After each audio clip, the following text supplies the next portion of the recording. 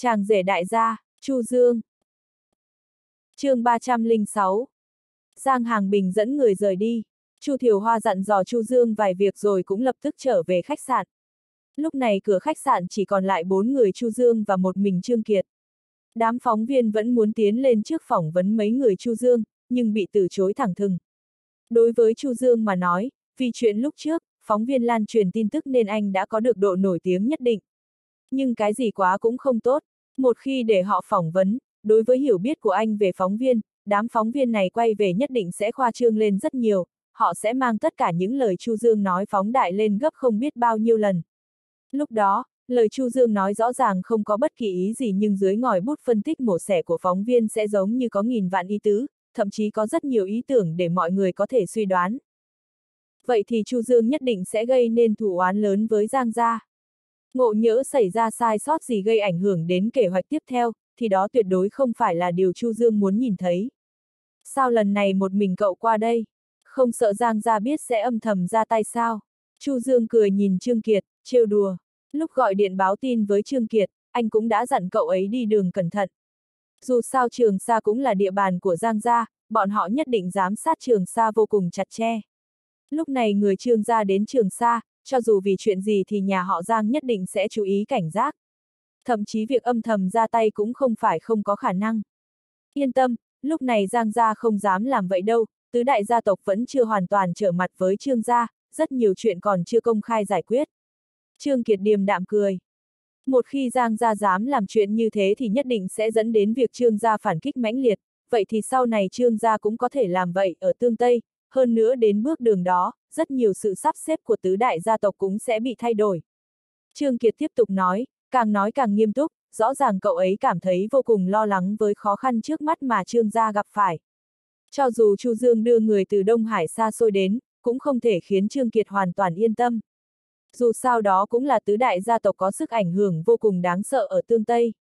Ừm, lần này gọi cậu đến là có chuyện quan trọng muốn nói với cậu, muốn thông qua cậu để bàn bạc thảo luận với Trương gia. Chu Dương khẽ cười, thay đổi chủ đề. Hả, chuyện gì vậy? Lúc này Trương Kiệt bắt đầu cảm thấy hứng thú. Đi, lên tầng, vào phòng nói. Chu Dương vẫy tay, đảo mắt nhìn xung quanh, khuôn mặt không chút biến sắc, trực tiếp quay người đi vào khách sạn. Tạ Linh Ngọc, Thẩm Bích Quân và Nghiêu Xuyên cũng lập tức theo sau. Tình hình vừa nãy khá kịch kiệt, lúc Chu Dương và Giang Hàng Bình rằng co, bọn họ cũng không dám nói gì, sợ làm phiền Chu Dương. Nhưng bây giờ Giang Hàng Bình đã dẫn người rời đi, bọn họ tự nhiên cũng thở phào nhẹ nhõm. Mọi người nói chuyện đi, tôi và Linh Ngọc sẽ không làm phiền nữa. Thẩm Bích Quân vừa cười vừa nói, trực tiếp kéo tạ Linh Ngọc quay về phòng mình, để lại không gian và thời gian riêng tư cho mấy người Chu Dương.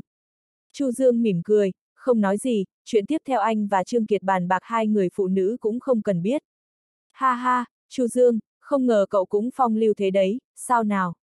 Một tạ Linh Ngọc vẫn chưa đủ à? Trương Kiệt trêu chọc, thậm chí trong lời nói còn có chút ngưỡng mộ. Bất kể tạ Linh Ngọc hay thẩm bích quân thì đều là người xinh đẹp hạng nhất. Tạ Linh Ngọc thì không cần nói, thời sinh viên Trương Kiệt cũng có ý định theo đuổi cô ấy, chỉ là sau này Hoa đã có chủ nên cũng không nghĩ đến nữa. Còn thẩm bích quân ở Đông Hải lại là một tổng tài xinh đẹp lạnh lùng, còn nổi tiếng hơn cả tạ Linh Ngọc. Audio điện tử võ tấn bền. Sau khi mọi người ngồi xuống, Trương Kiệt mới nghiêm túc đánh giá bạn học cũ của mình. Lúc trước ở Đông Hải, trong lòng cậu ấy vô cùng sốt ruột, rất nhiều chuyện không thể suy nghĩ kỹ. Lúc này, Chu Dương sắp xếp không ít người đi theo Trương Kiệt đến Trương gia, khiến Trương Kiệt hiểu ra không ít, đồng thời trong lòng cũng cảm thấy chấn động. Chu Dương đã không còn là sinh viên bình thường trong trường đại học ngày xưa. Thậm chí Chu Dương có thể đã đạt đến một trình độ mà Trương Kiệt không theo kịp được. Chu Dương, thật không ngờ cậu mới tới trường xa vài ngày mà đã đánh Giang Bắc tàn phế, theo tôi biết Giang Bắc tuy danh tiếng rất tệ nhưng hắn là đại thiếu gia Giang gia, Giang gia luôn bảo vệ hắn nên từ trước đến nay chẳng ai dám động vào. Trương Kiệt khẽ cười, chăm chú nói. Tuy trước đó, trước mặt Giang Hàng Bình, cậu ấy nói chuyện vô cùng hùng hồn, như thể bất kể Chu Dương đã làm gì thì Trương gia cũng sẽ bảo vệ Chu Dương. Nhưng bây giờ yên lặng, trong lòng Trương Kiệt không thể cứ bình tĩnh mãi. Chu Dương vậy mà đã đánh Giang Bắc thành tàn phế, cũng khó trách Giang gia điều động thế trận lớn như vậy để dẫn Chu Dương về Giang gia. Không có gì, chỉ trách đại thiếu gia nhà Giang gia ăn nói sắc sược, tôi trừ hại cho người khác thôi. Chu Dương dừng dưng xua tay, Đúng rồi, không nói những việc này nữa, nếu tôi giúp trương gia các cậu thì việc đối lập với Giang gia là điều tất nhiên, dù bây giờ không phế bỏ Giang Bắc thì sau này đối đầu với bọn họ nói không chừng vẫn sẽ tìm cơ hội phế bỏ hắn. Chu Dương lãnh đạm nói, Giang Bắc trong mắt anh cũng chả là gì. Tôi đặc biệt tìm cậu vì muốn hỏi xem cậu có cách nhìn thể nào về Trần Gia ở Trường Sa. Nghe thấy Chu Dương nhắc đến Trần Gia, nét mặt Trương Kiệt ngay lập tức trở nên nghiêm túc. Trần Gia tới tìm cậu rồi sao? Trương Kiệt trầm giọng hỏi, rõ ràng hơi bất ngờ. Chu Dương không nói gì chỉ lẳng lặng nhìn Trương Kiệt, muốn biết suy nghĩ của cậu ấy. Trương Kiệt trầm tư một lát rồi chậm rãi nói. Sức ảnh hưởng của Trần Gia ở trường Sa tuy không lớn bằng Giang Gia, nhưng cũng không thể xem nhẹ, hơn nữa vì bọn họ dựa vào thế lực Giang Gia nên có thể mượn rất nhiều sự trợ giúp từ Giang Gia. Nếu Trần Gia cùng liên kết với các gia tộc khác công kích Trương Gia chúng tôi, thì có thể tình hình sẽ càng tệ. Trương Kiệt hết sức nghiêm túc nói, ánh mắt thăm dò nhìn Chu Dương. Trước đây Trần Gia liên hệ với tôi, bảo là muốn hợp tác, họ giúp tôi rời khỏi trường Sa, còn tôi sẽ giúp họ thoát khỏi sự khống chế của Giang Gia, cậu cảm thấy có đáng tin không? Chu Dương suy nghĩ một lát, chuyện này vẫn nên nói ra. Nếu như Trần Gia đã muốn hợp tác để thoát khỏi sự khống chế của Giang Gia, thì ở Tương Tây, chỗ dựa lớn nhất có thể nhờ cậy chắc chắn là Trương Gia. Đã như vậy, thay vì giấu giấu giếm giếm, không bằng thẳng thắn nói ra. Thật sao, vậy thì tốt quá rồi. Trương Kiệt nghe vậy vô cùng mừng rỡ, lập tức đứng lên, mạnh mẽ tung ra hai nắm đấm. Chu Dương hơi mơ hồ không biết tại sao Trương Kiệt lại phấn khích như vậy. Chu Dương, cậu không biết đó, thực ra Trương gia chúng tôi luôn tìm kiếm sự phá hoại trong nội bộ tứ đại gia tộc, mà Trần gia chính là mấu chốt. Trương Kiệt phấn khởi đi vòng quanh tại chỗ, trên mặt tràn đầy vẻ kích động. Không được, chuyện này cần nói rõ với ông nội tôi, để ông ấy quyết định, bây giờ tôi phải thông báo ngay. chương 307 Phòng Chu Dương, khách sạn Song Long, bây giờ có thêm hai người nữa.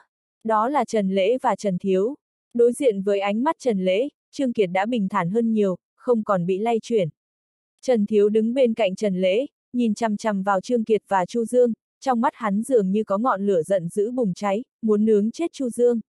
Sau khi Trương Kiệt biết Trần Gia có ý định hợp tác với Chu Dương để thoát khỏi sự kiểm soát của Giang Gia, cậu ấy lập tức gọi cho ông nội mình, gia chủ Trương Gia. Gia chủ Trương Gia cũng vô cùng quyết đoán, lập tức kêu Trương Kiệt sắp xếp, ông ấy muốn đích thân thương lượng với Trần Lễ. Chẳng qua với tư cách là gia chủ Trương Gia, có địa vị ngang hàng với gia chủ Giang Gia, tất nhiên không thể đích thân ra mặt nói chuyện với Trần Lễ, cho nên chỉ nói qua điện thoại. Nhưng ngay cả như vậy, cũng đã bày tỏ lòng thành của Trương Gia. Sau khi Chu Dương kể về sự tồn tại của Trương Gia với Trần Lễ, đồng thời còn nói ra chủ Trương Gia muốn nói chuyện với ông ta, Trần Lễ không do dự, trực tiếp dẫn Trần Thiếu bí mật đến khách sạn. Chu Dương, đây là người đại diện Trương Gia mà mày nói à? Sợ rằng còn chưa lớn tuổi hơn tao nữa. Đây là mày coi thường Trần Gia chúng tao phải không? Trần Thiếu nhìn Trương Kiệt vẫn còn trẻ tuổi, trong lòng liền bất mãn. Hắn và Trần Lễ đích thân đến thương lượng, cho dù chủ nhân Trương Gia không tự mình ra mặt, ít nhất cũng phải sắp xếp một người có tầm cỡ hơn ra mặt. Nhưng ngay khi bọn họ vào phòng, lại nhìn thấy một chàng trai trẻ tuổi như Trương Kiệt. Điều này rõ ràng là coi thường Trần Gia. Cộng thêm trước đây khi Chu Dương ở Trần Gia không quá lễ độ, sự tức giận trong bụng Trần Thiếu chốc lát không nhịn được. Thế nào, cậu có ý kiến? Có ý kiến thì có thể trực tiếp từ chối đàm phán. Chu Dương liếc nhìn Trần Thiếu, lạnh nhạt nói. Tình hình trước mắt, khả năng Giang Gia ra tay với Chu Dương là rất nhỏ. Giữa Chu Dương và Trần Gia, ảnh hưởng của Trần Gia cũng ngày càng nhỏ đi. Ngược lại, nếu Trần Gia muốn thoát khỏi sự kiểm soát của Giang Gia, thì nhất định phải nhờ vào Chu Dương, thậm chí là nhờ cậy vào lực lượng của Trương Gia. Đây vốn là hợp tác không bình đẳng. Cho nên, đừng nói Trương Gia bảo Trương Kiệt gặp mặt Trần Lễ, cho dù Trương Kiệt không cử người đến, chỉ nói chuyện qua điện thoại, Trần Lễ và Trần Gia cũng phải chấp nhận. Anh, Trần Thiếu trừng mắt, muốn tranh luận. Trần Thiếu, lùi xuống. Nhưng đúng lúc này, Trần Lễ lại lạnh giọng quát mắng. Biểu cảm của Trần Lễ cũng khó coi không kém, thậm chí còn có chút hung ác, hiển nhiên rất không hài lòng với sự sắp xếp của Trương gia để Trương Kiệt gặp mặt ông ta. Nhưng lúc này, Trương gia nắm giữ quyền chủ động, ông ta ngược lại muốn từ chối, nhưng sau khi từ chối, thì sẽ vô cùng khó để thoát khỏi sự kiểm soát của Giang gia. Mà đó không phải là chuyện mà Trần Lễ hy vọng nhìn thấy. Gia chủ Trương gia đã có ý định hợp tác với tôi, chắc hẳn trong lòng có một số ý tưởng, chỉ không biết Trương gia có thể giúp Trần gia chúng tôi làm gì và cần Trần gia chúng tôi làm gì Trần Lễ trầm giọng nói chuyện điện thoại. Bên kia điện thoại chính là gia chủ trương gia, trương Thái Viêm. Trần Lễ nói xong, trong điện thoại liền yên lặng, Trần Thiếu trong phòng cũng bình tĩnh lại, sắc mặt đỏ bừng, hít sâu một vài hơi thở, lạnh lùng nhìn Chu Dương. Chu Dương và Trương Kiệt cũng không nói gì, đợi nghe câu trả lời của Trương Thái Viêm. Dẫu sao chuyện này liên quan đến sự hợp tác giữa hai gia tộc, Chu Dương và Trương Kiệt đều không thể làm chủ, chỉ có thể cung cấp một cầu nối hợp tác như vậy. Trần Lễ và Trương Thái Viêm đã thảo luận nhiều chuyện trong điện thoại. Trần Lễ đưa ra không ít điều đảm bảo, Trương Thái Viêm đáp ứng lại, đồng thời cũng để củng cố cho sự quyết tâm của Trần Lễ, nên ông cũng đưa ra rất nhiều điều kiện chắc chắn. Trong toàn bộ thời gian thương lượng, Chu Dương và những người khác đều ở bên cạnh im lặng chờ đợi, không nói một lời, rất sợ làm phiền hai bên thương lượng. Đã là như vậy, Trần Gia sẽ chờ đợi cuối cùng, Trần Lễ trầm giọng nói. Được, thằng nhóc Trương Kiệt hiện đang ở trường xa. Nếu gia chủ Trần Gia có chuyện gì, có thể trực tiếp liên lạc nó, nó sẽ thông báo cho tôi. Giọng nói của Trương Thái Viêm rất vang dội, tràn đầy năng lượng, đồng thời cũng vô cùng tự tin. Hiển nhiên, hai bên đã đàm phán xong ý định hợp tác cơ bản. Không có gì bất ngờ, tiếp theo đó Trương Kiệt sẽ hành động, mở đường cho Trần Gia thoát khỏi sự kiểm soát của Giang Gia. Sau khi cúp điện thoại, Trần Lễ nhìn sang Chu Dương, trong ánh mắt đầy ý nghĩ sâu xa. Trần Lễ không ngờ rằng Chu Dương có thể liên lạc với Trương Gia, mà từ đó để ông ta có thể thương lượng với Trương Gia như vậy. Không nghi ngờ gì, việc thương lượng hợp tác với Trương Gia sẽ khiến người khác yên tâm hơn là việc thương lượng hợp tác với Chu Dương. Suy cho cùng, so với bối cảnh phức tạp và mơ hồ của Chu Dương, mọi người ở tỉnh Tương Tây đều biết đến sức mạnh của Trương Gia. Có vẻ như lần này tôi vẫn phải cảm ơn anh bạn nhỏ Chu Dương. Trần Lễ năm mươi mấy tuổi, gọi Chu Dương là bạn nhỏ cũng không xem là vượt qua giới hạn. Với lại, trong giọng điệu của ông ta rõ ràng có ý công nhận. Nếu Trần Gia thực sự muốn cảm ơn tôi, vậy thì trong lần hợp tác tiếp theo này cố gắng làm tốt. Chu Dương cười điềm đạm, không hề để ý đến lời nói của Trần Lễ. Những lời nói ngoài mặt như vậy chẳng là gì, cũng không nên coi là sự thật. Nếu Chu Dương bằng lòng, ông ta có thể luôn nói như vậy. Nhưng lời nói như vậy sẽ không thể khiến Chu Dương kiểm soát cục diện ở Đông Hải, phát triển công ty danh dương trở nên lớn mạnh.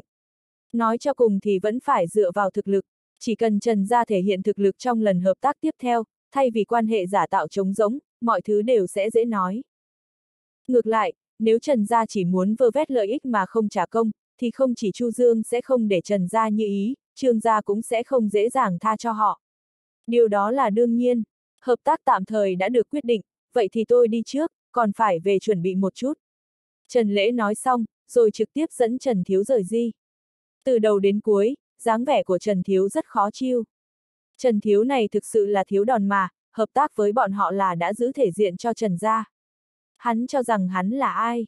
Trương Kiệt nhìn dáng vẻ của Trần Thiếu, cũng rất bực mình, lạnh lùng nói. Đôi khi, những gì mắt cậu nhìn thấy không chắc là đúng. Nói không chừng, Trần Thiếu này cố tình làm như vậy, để chúng ta nghĩ rằng Trần gia của hắn cũng không thoải mái trong lần hợp tác này. Chu Dương khế cười, không coi trọng phản ứng của Trần Thiếu. Loại chuyện che giấu thật giả hư thực như này, Trần Thiếu vẫn còn non lắm. Khi Trần Lễ và Trương Thái Viêm thương lương hợp tác, bầu không khí của Giang gia cũng đầy trang nghiêm. Giang Hành Bình lại một lần nữa thất bại, không đưa được đám người Chu Dương về Giang gia. Giang Hành Bình, rốt cuộc mày làm việc như thế nào vậy? Việc nhỏ như này mà mày cũng làm không xong, Giang gia cần mày làm gì nữa? Giang Hành Phương phẫn nộ, chỉ vào mặt Giang Hành Bình, lạnh lùng quát mắng. Ba ngày đã trôi qua kể từ khi Giang Bắc bị phế, nhưng vẫn chưa đưa được hung thủ về Giang gia. Điều này khiến trong lòng Giang Hành Phương vô cùng tức giận. Phải biết rằng, trước đây có người đắc tội với Giang gia, trong vòng một ngày đã bị đưa thẳng đến Giang gia. Nhưng lần này, ba ngày, ngay cả một bóng người Giang Hành Phương cũng chưa nhìn thấy. Có phải mày nghĩ Giang Bắc đã bị tàn phế, tạo mất đi tư cách cạnh tranh gia chủ, cho nên mày không tận sức làm việc? Tao nói cho mày biết, cho dù tao không đủ tư cách cạnh tranh cho vị trí gia chủ, thì con cháu ngoài rìa như mày cũng không thể so sánh được. chương 308 Tại phòng khách của Giang Gia, Giang Hành Phương nét mặt giữ dằn đang lớn tiếng chửi bới Giang Hành Bình. Phải đối mặt với việc đứa con trai độc nhất bị tàn phế, bản thân mất đi tư cách cạnh tranh người thừa kế, Giang Hành Phương sớm đã chất chứa lòng căm hận. Ông ta chỉ đợi Giang Hành Bình mang hung thủ về đây là ông ta nhất định sẽ xả hận triệt đề. Thế nhưng đã ba ngày trôi qua, đến cái bóng của hung thủ Giang Hành Phương cũng không được nhìn thấy, vì thế ông ta không thể kìm chế được cơn giận, liền chút hết lên người Giang Hành Bình. Lúc này, ở đại sảnh hai anh em Giang Hành Nguyên, Giang Hành Quảng và một số thành viên họ hàng của Giang gia vẫn giữ im lặng. Nhưng sắc mặt của mấy thành viên họ hàng kia lại cực kỳ khó coi. Bởi vì ban nãy Giang Hành Phương đã nói cho dù ông ta hiện tại có bị mất đi tư cách thừa kế thì đám người họ hàng Giang Hành Bình cũng không thể so sánh được. Mặc dù câu nói này chỉ nhằm đến Giang Hành Bình, nhưng đối với những người họ hàng này, như vậy khác nào là cũng đang âm thầm ám chỉ bọn họ. Thậm chí trong đó còn có một thành viên khá lớn tuổi vẻ mặt đã thể hiện sự tức giận, ánh mắt vô cùng khó chịu nhìn Giang Hành Phương. Giang Hành Nguyên và Giang Hành Quảng trông thấy cảnh này thì trong lòng mừng thầm, cũng không lên tiếng ngăn cản mà tiếp tục để cho Giang Hành Phương nổi điên lên. Lần trước, mày dẫn theo Lưu Phong bảo đảm nhất định sẽ mang người về đây, kết quả người chẳng thấy đâu, còn Lưu Phong thì lại bị thương không nhẹ. Lần này, mày dẫn theo hơn 20 tên vệ sĩ, thể sống thể chết, nhất định đem người đến, kết quả thế nào? Đây là kết quả mà mày nói à? Giang Hành Phương không kìm được cơn giận, bước lên một bước, túm lấy cổ áo Giang Hành Bình, trong lời nói tràn ngập sự hung ác. Dường như chỉ cần Giang Hành Bình có một hành động bất cẩn là ông ta sẽ trực tiếp ra tay ngay. Dừng tay, đúng lúc này, một âm thanh sắc lạnh vang lên. Ông chủ của Giang gia Giang Phạm Lưu bước vào, nét mặt trang nghiêm, liếc nhìn Giang Hành Phương lạnh lùng lên tiếng. Lập tức khiến Giang Hành Phương tỉnh táo vài phần, áp chế lại cơn giận dữ của mình và buông lỏng tay, nhưng cũng không hề che giấu sự giận dữ trên mặt. Giang Phạm Lưu mạnh dễ dứt khoát ngồi ở vị trí gia chủ, ánh mắt quét qua cả đám người một lượt, nắm bắt hết tinh thần của tất cả mọi người. Nó hồ đồ như vậy, các người cũng không có ai đứng ra ngăn cản sao. Giang Phạm Lưu lạnh lùng nói, không chút cảm xúc với đám người trước mặt, hết sức không hài lòng. Hôm nay Giang Hành Phương động tay động chân với Giang Hành Bình, điều này tựa như xung đột mâu thuẫn nội bộ trong Giang gia, thế nhưng tất cả những người ở đây lại không ai đứng ra ngăn cản. Vậy nếu như sau này người của Giang gia có xảy ra mâu thuẫn với người ngoài thì những người này liệu có ra tay tương trợ hay không? Bố à, anh cả cũng thật sự giận quá mất khôn.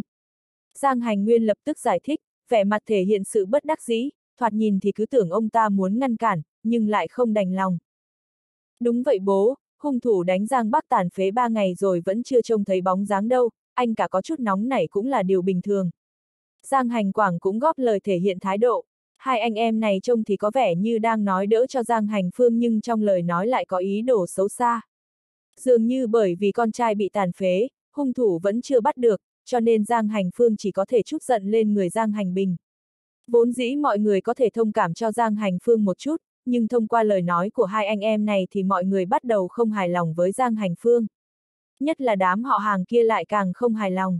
Cảm giác như Giang Hành Phương là thành viên của chi trưởng trong gia tộc, Giang Bắc cũng thế, vậy thì bọn họ là thành viên của chi thứ này là gì mà tùy ý Giang Hành Phương có thể mắng chửi, thậm chí ra động tay động chân như thế.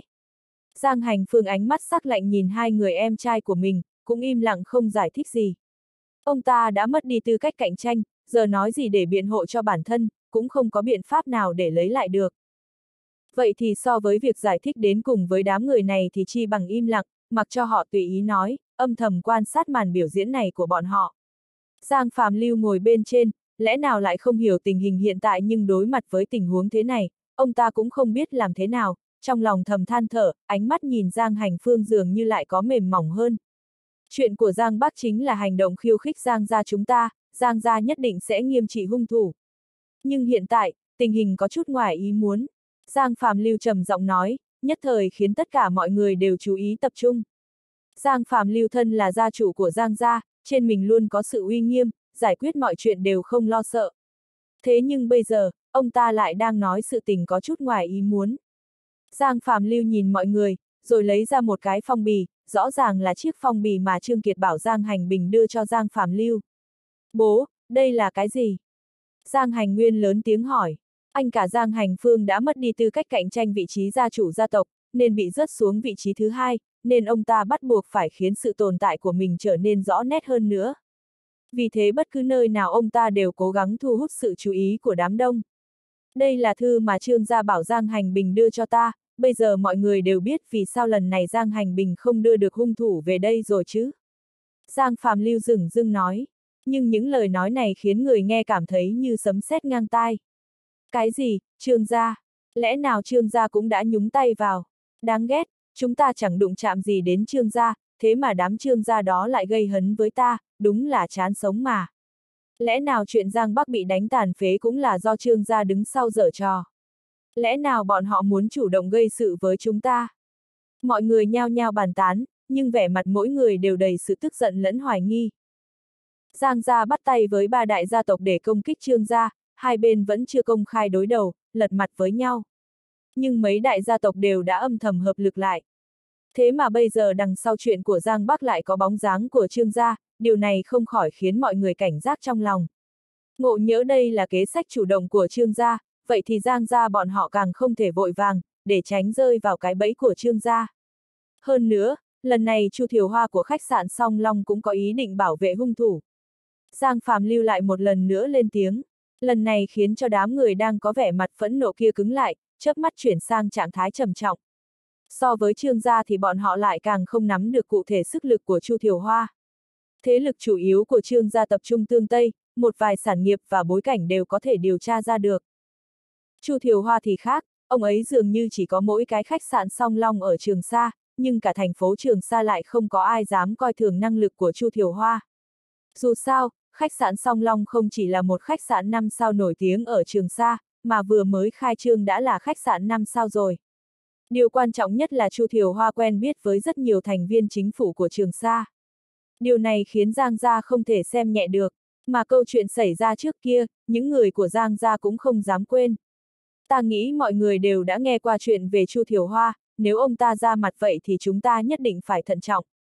Giang Phạm Lưu lạnh giọng nói mặc dù tất cả điều này đều do Giang Hành Bình báo cáo với ông ta, nhưng Giang Phạm Lưu cũng không hề nghi ngờ gì. Bởi vì ông ta cũng là người chứng kiến câu chuyện năm xưa. chương 309 Bầu không khí phút chốc bỗng rơi vào yên tĩnh, ngay cả người của Giang Gia đã từng trải qua chuyện thế này giờ khác này cũng im lặng không lên tiếng. Chuyện gì vậy, tại sao chúng tôi không biết gì ca? Có người nhẹ giọng hỏi. Đó là chuyện 18 năm về trước khi Chu Thiều Hoa lần đầu tiên đến Trường Sa mở khách sạn Song Long, lúc đó Trường Sa ngoài Giang gia tộc chúng ta ra thì vẫn còn một đại gia tộc nữa, Lưu gia.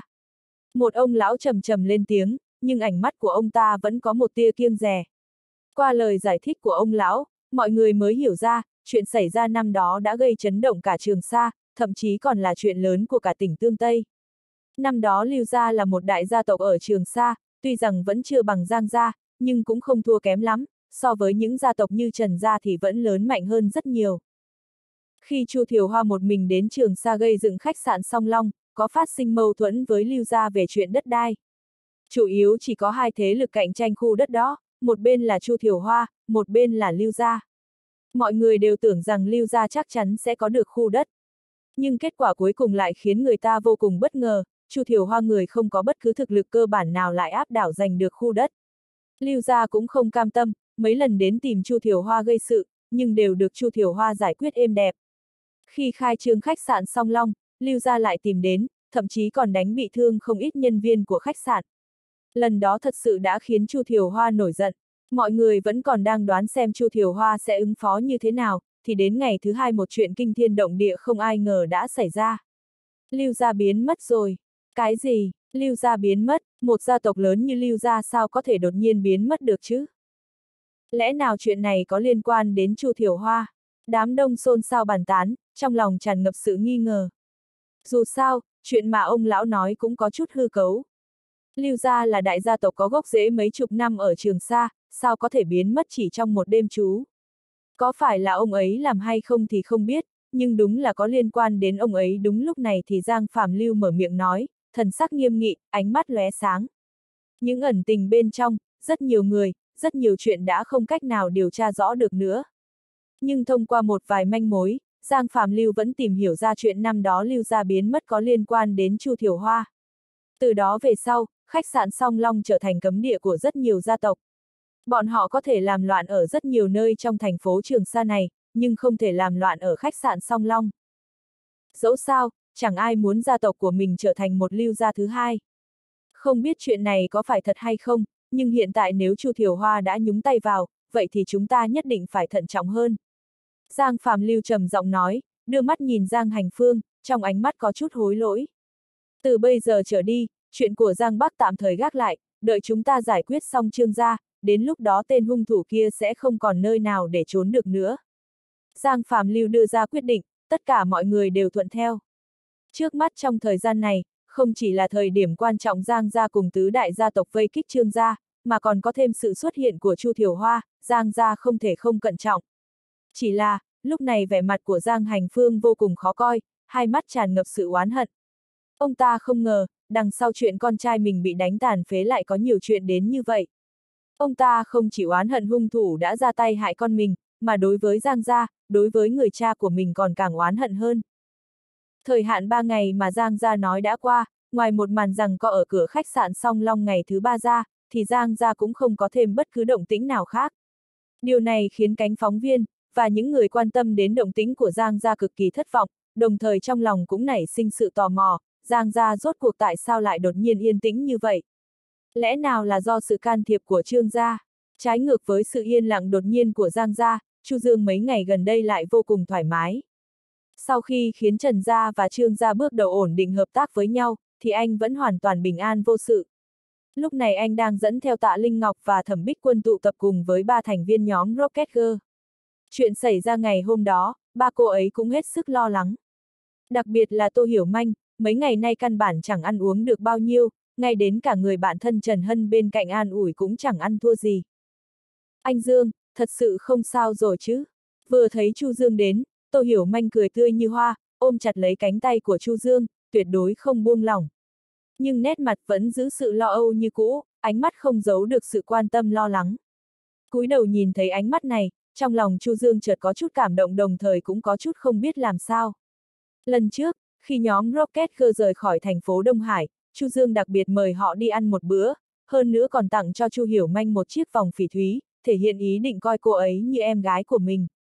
Chu Dương vẫn luôn nghĩ rằng mình đã nói rất rõ ràng, một Tô Hiểu Manh lanh lợi như vậy thì chắc sẽ hiểu hàm ý của anh. Nhưng lần này đến trường xa, sau khi gặp lại Tô Hiểu Manh, Chu Dương mới thấy bản thân đã nghĩ nhiều quá rồi. Tô Hiểu Manh không những không hiểu lời nói đó, ngược lại sự lưu luyến với anh ấy dường như còn sâu đậm hơn. Chu Dương quay đầu nhìn tạ Linh Ngọc và thẩm bích quân cầu cứu giải vây.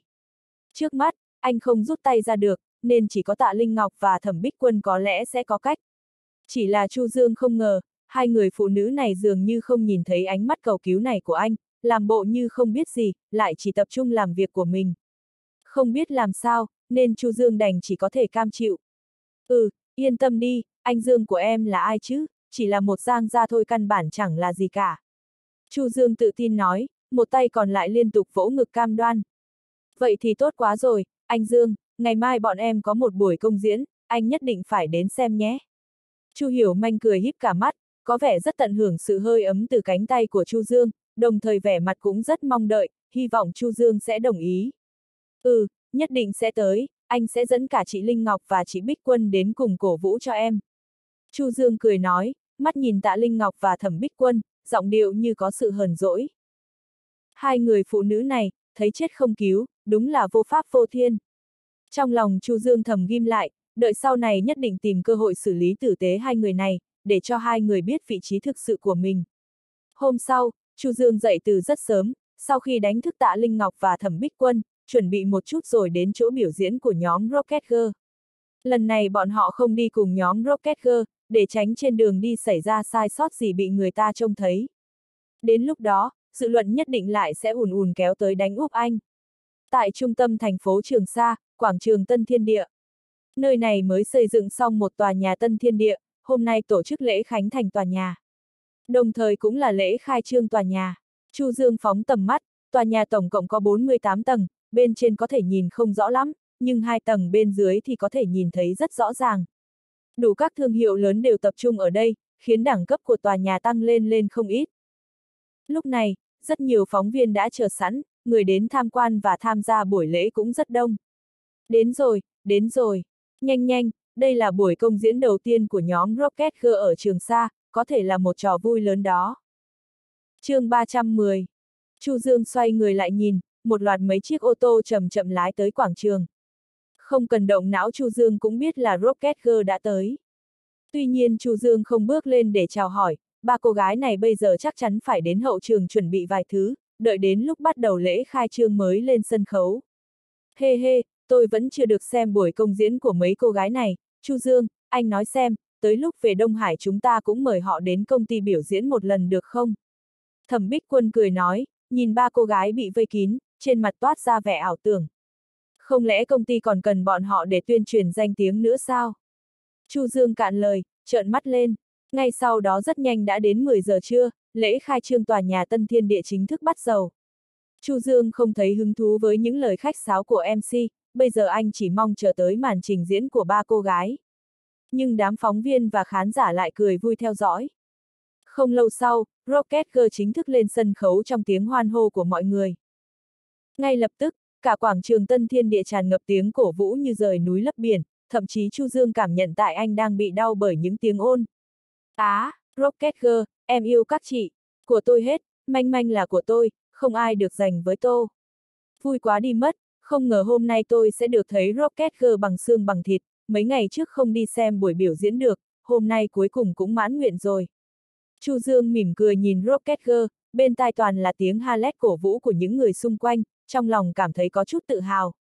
Anh đã từng nhìn thấy sự nổi tiếng và mức độ được hoan nghênh của Rocket Girl lớn mạnh đến nhường nào, nhưng bây giờ một lần nữa tận mắt chứng kiến vẫn cảm thấy bất ngờ.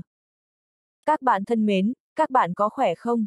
Tô Hiểu Manh vẫy tay với khán giả bên dưới, ánh mắt không ngừng lướt quanh giống như đang tìm gì đó. Cô biết hôm nay Chu Dương sẽ đến xem mình biểu diễn, vậy nên cô muốn tìm vị trí Chu Dương đang ngồi. Chỉ là cô tìm hết một lượt cũng không phát hiện ra Chu Dương ở đâu, bỗng thấy hơi thất vọng. Nhưng cũng may cô rất nhanh lại có thể hòa hợp vào không khí sôi động ở đây. Lần này Rocket Girl sẽ biểu diễn hai bài hát, còn là hai bài hot nhất giúp nhóm thành danh. Chẳng bao lâu, cả quảng trường Tân Thiên Địa vô cùng náo nhiệt. Chu Dương nhìn ba cô gái trên sân khấu, cười hoài không dứt. Nói thật, Rocket Girl là minh tinh đầu tiên mà anh tiếp xúc. So với những minh tinh tự kiêu hay giữ cái kia, ba cô gái Rocket Girl mang lại cho Chu Dương một cảm giác cực kỳ thân thuộc, cả có sự hoạt bát và ngây thơ chỉ tìm thấy ở độ tuổi này. Thời gian của hai bài hát không dài, chỉ tầm 10 phút, nhưng cũng khuấy động không khí toàn quảng trường lên đỉnh điểm. Chỉ là, sắc mặt Chu Dương lại có vài nét khó hiểu. Sao vậy? Thẩm Bích Quân là người đầu tiên phát hiện sự dị thường của Chu Dương, nhẹ giọng hỏi. Cô biết Chu Dương vẫn luôn bình tĩnh, không dễ dàng để lộ biểu cảm thế này. Cảm thấy có gì đó không đúng, mọi người có thấy mấy người đó không? Chu Dương trầm giọng nói, chỉ về phía vài người kia. Thẩm Bích Quân, Tạ Linh Ngọc và Ngưu Xuyên cùng nhìn sang, phát hiện có vài người quả thật khác thường. Không giống như những người khác, có ba người đang hành động rất kỳ lạ, tuy rằng họ vẫn đang hoan hô, nhưng đồng thời cũng không ngừng tiến về phía sân khấu, hơn nữa ánh mắt cũng dính chặt về phía ba cô gái Rocket Girl. Quan trọng nhất là ai trong ba người đó trông cũng cao lớn, có vẻ như biết võ thuật, sức lực tốt. Và lại, trên người ba kẻ đó như ẩn hiện sát khí. Chu Dương lập tức nheo mắt, anh thấy ba kẻ này cách chỗ mình không xa, liên tục bước về phía sân khấu, lúc này bọn chúng đã tiếp cận gần sân khấu, chỉ cần một cú nhảy thì lập tức có thể lên trên ngay. Xuyên tử, cẩn thận, Chu Dương dặn nhỏ một tiếng, trực tiếp chạy về phía trước, xung quanh có không ít người chửi bới, nhưng Chu Dương vẫn không quan tâm. Tình hình bây giờ, mục tiêu của ba tên kia rõ ràng là Rocket Girl, so với sự an toàn của họ thì có chen chúc với khán giả hay không cũng không quan trọng lắm. Sắc mặt Ngưu Xuyên nghiêm túc không kém, cơ thể nhanh nhẹn như cá chép, xuyên qua dòng người, nhanh chóng tiến về phía sân khấu. Lên, ngay lúc này, ba tên kia nhìn nhau một cái rồi ra lệnh cho nhau, đồng loạt nhảy lên sân khấu. Đối diện với tình hình này, ba cô gái đương nhiên không ngờ tới, sững sờ đứng tại chỗ, hiếu kỳ nhìn ba người lạ đột nhiên nhảy lên sân khấu. Còn khán giả vẫn tưởng đây là sắp xếp của ban tổ chức, không hề cảm thấy có gì lạ thường, vẫn nhiệt liệt cổ vũ. Hành động nhanh lên, người đàn ông chính giữa thấp giọng ra lệnh, sau đó ba người lập tức nhào về phía các cô gái. Sự việc xảy ra quá nhanh, mọi người vẫn chưa phản ứng lại. Cẩn thận, Chu Dương lúc này vẫn chưa đến gần sân khấu, nhìn thấy tình hình này thì lòng như lửa đốt, lớn tiếng gào lên. Tô Hiểu Manh nghe thấy giọng anh thì bỗng giật mình, trong đầu lập tức nhớ lại chuyện đã phát sinh trong buổi biểu diễn ở Đông Hải. Khoảnh khắc này, Tô Hiểu Manh cực kỳ hoảng hốt, cô phát hiện mục tiêu của ba người kia là các cô, hơn nữa hiện tại đã không có ai có thể ngăn chặn được nữa. Cẩn thận, chạy nhanh đi, Tô Hiểu Manh hét to, lập tức kéo theo Triệu Uyển Dung và Trương Điềm Điềm vẫn còn đang ngây người chạy về hướng khác. Lúc này khán giả mới phát giác có người muốn làm chuyện bất lợi cho ba cô gái. Không hay, mau bảo vệ nữ thần. Dám ra tay với nữ thần, đúng là muốn chết mà. Mọi người mau chặn bọn chúng lại, để nữ thần chay di. Không ít người đến gần sân khấu, trèo lên trên, muốn ngăn ba kẻ côn đồ lại. Xuyên tử, nhanh lên. Lúc này Chu Dương không quan tâm nhiều như vậy nữa, anh hét to một tiếng, chỉ có thể gửi hết hy vọng lên người Ngưu Xuyên. Khoảnh khắc này, màn ám sát trong buổi biểu diễn ở Đông Hải một lần nữa lại xuất hiện trong đầu Chu Dương, làm anh toát mồ hôi lạnh. Nếu ba người này muốn làm gì bất lợi với các cô gái thì hậu quả thật khó lường. Ngưu Xuyên thấy vậy nhanh chóng vung mạnh tay, dòng người chặn trước mặt cậu ấy lập tức giạt ra hai bên. Không quan tâm tới tiếng mắng chửi của khán giả, Ngưu Xuyên nhảy một bước lên sân khấu, nắm đấm nhanh như gió trực tiếp lao về phía ba tên côn do. Tao chặn nó, bọn mày mau bắt người đi. Người đàn ông chính giữa lại ra lệnh, chủ động quay người đối diện với Ngưu Xuyên, ra đòn muốn đối kháng. Hai người còn lại tất nhiên không quan tâm, bọn chúng tiếp tục đuổi theo về phía mấy người Tô Hiểu Manh. Trong phút chốc, gần phía sân khấu loạn xạ cả lên. Ai thấy vụ việc xảy ra xong đều la hét ầm ý, dồn ép chen chúc về phía sân khấu. Còn những ai ở xa nghe thấy động tính, biết được đã xảy ra chuyện gì, càng hiếu kỳ, cũng dồn về phía sân khấu. Búp, một tiếng động vang lên, Chu Dương nhảy lên sân khấu, nhìn thấy Ngưu Xuyên đang đánh nhau với một tên côn đồ. Cút! chương 311 Tên côn đồ này là một người đàn ông với mái tóc râm.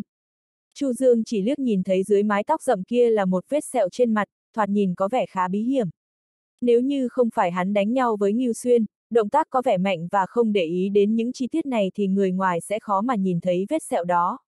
Lúc này, Ngưu Xuyên đang đối kháng với người đàn ông đó. Còn hai người đàn ông khác lại xông về phía ba cô gái Rocket Girl. Chu Dương không dám chậm trễ, lập tức xông lên, cố gắng ngăn cản đối phương. Cút một quyền mạnh đánh ra, tên côn đồ với vẻ mặt hung tợn nhìn Ngưu Xuyên đang cản trước mặt mình, trong lòng thấy kinh ngạc khác thường. Khi nhận được nhiệm vụ này, hắn vốn tưởng sẽ chẳng có gì khó khăn. Cứ coi như nhóm Rocket Girl có vệ sĩ thì căn bản không phải là đối thủ của ba anh em bọn hắn. Nhưng sau khi hắn trực tiếp ra tay thì mới phát hiện ra, người phía trước năng lực cũng ngang tầm hắn. Thậm chí, người đàn ông này còn mơ hồ cảm nhận được thực lực của Ngưu Xuyên còn mạnh hơn cả hắn. Chết tiệt, không phải là nói mấy đứa con gái kia không có vệ sĩ giỏi hay sao? Trong lòng hắn thầm mắng một câu rồi nhanh chóng thu quyền về. Sau đó xoay người một cái rồi lại ra đòn tiếp. Các người là ai? Ngưu Xuyên cũng không dám chậm trễ, vừa muốn khống chế người đàn ông này vừa muốn có được chút thông tin hữu ích từ miệng hắn. Dù sao thì nhóm Rocket Girl vô cùng nổi tiếng nhưng mới ra mắt được 2 năm, cũng chưa đắc tội với ai. Hơn nữa, với độ nổi tiếng của các cô trong cả nước thì một khi xảy ra chuyện, chắc chắn sẽ nhận được sự quan tâm của dư luận. Mấy tên côn đồ thông thường căn bản không dám có ý nghĩ xấu với ba cô gái nhóm Rocket Girl. Nhưng hiện giờ lại có người muốn ra tay với họ, hơn nữa thoạt nhìn ba tên côn đồ này đã được huấn luyện kỹ càng, tuyệt đối không phải những kẻ vô danh. Trong lúc nói, Ngưu Xuyên cũng tung một đòn ra, nhưng người đàn ông kia không nói một lời, chỉ có điều đôi mắt chim ưng lại cứ nhìn chằm chằm vào Ngưu Xuyên, sức lực và tốc độ ra đòn ngày càng mạnh. Trong lòng Ngưu Xuyên trầm ngâm, cậu ấy biết người đàn ông này sẽ không nói ra sự thật. Nếu đã như vậy thì cậu cũng không giấu thực lực của mình. Ngưu Xuyên thu lại quyền cước rồi nhìn người đàn ông cười lạnh, nói. Nếu như ngươi không nói thì ta đành phải bắt ngươi lại, sau đó thẩm vấn thôi. Ăn nói hàm hồ người đàn ông khẽ thốt ra một câu, vẻ mặt vô cùng khinh bỉ. Mấy lần giao đấu ban nãy, hắn với Ngưu Xuyên đúng là người tám lạng kẻ nửa cần nên tự tin rằng Ngưu Xuyên với hắn cũng ngang ngửa nhau. Đừng nói đến việc bắt hắn, đến việc ngăn cản hắn cũng khó mà làm được.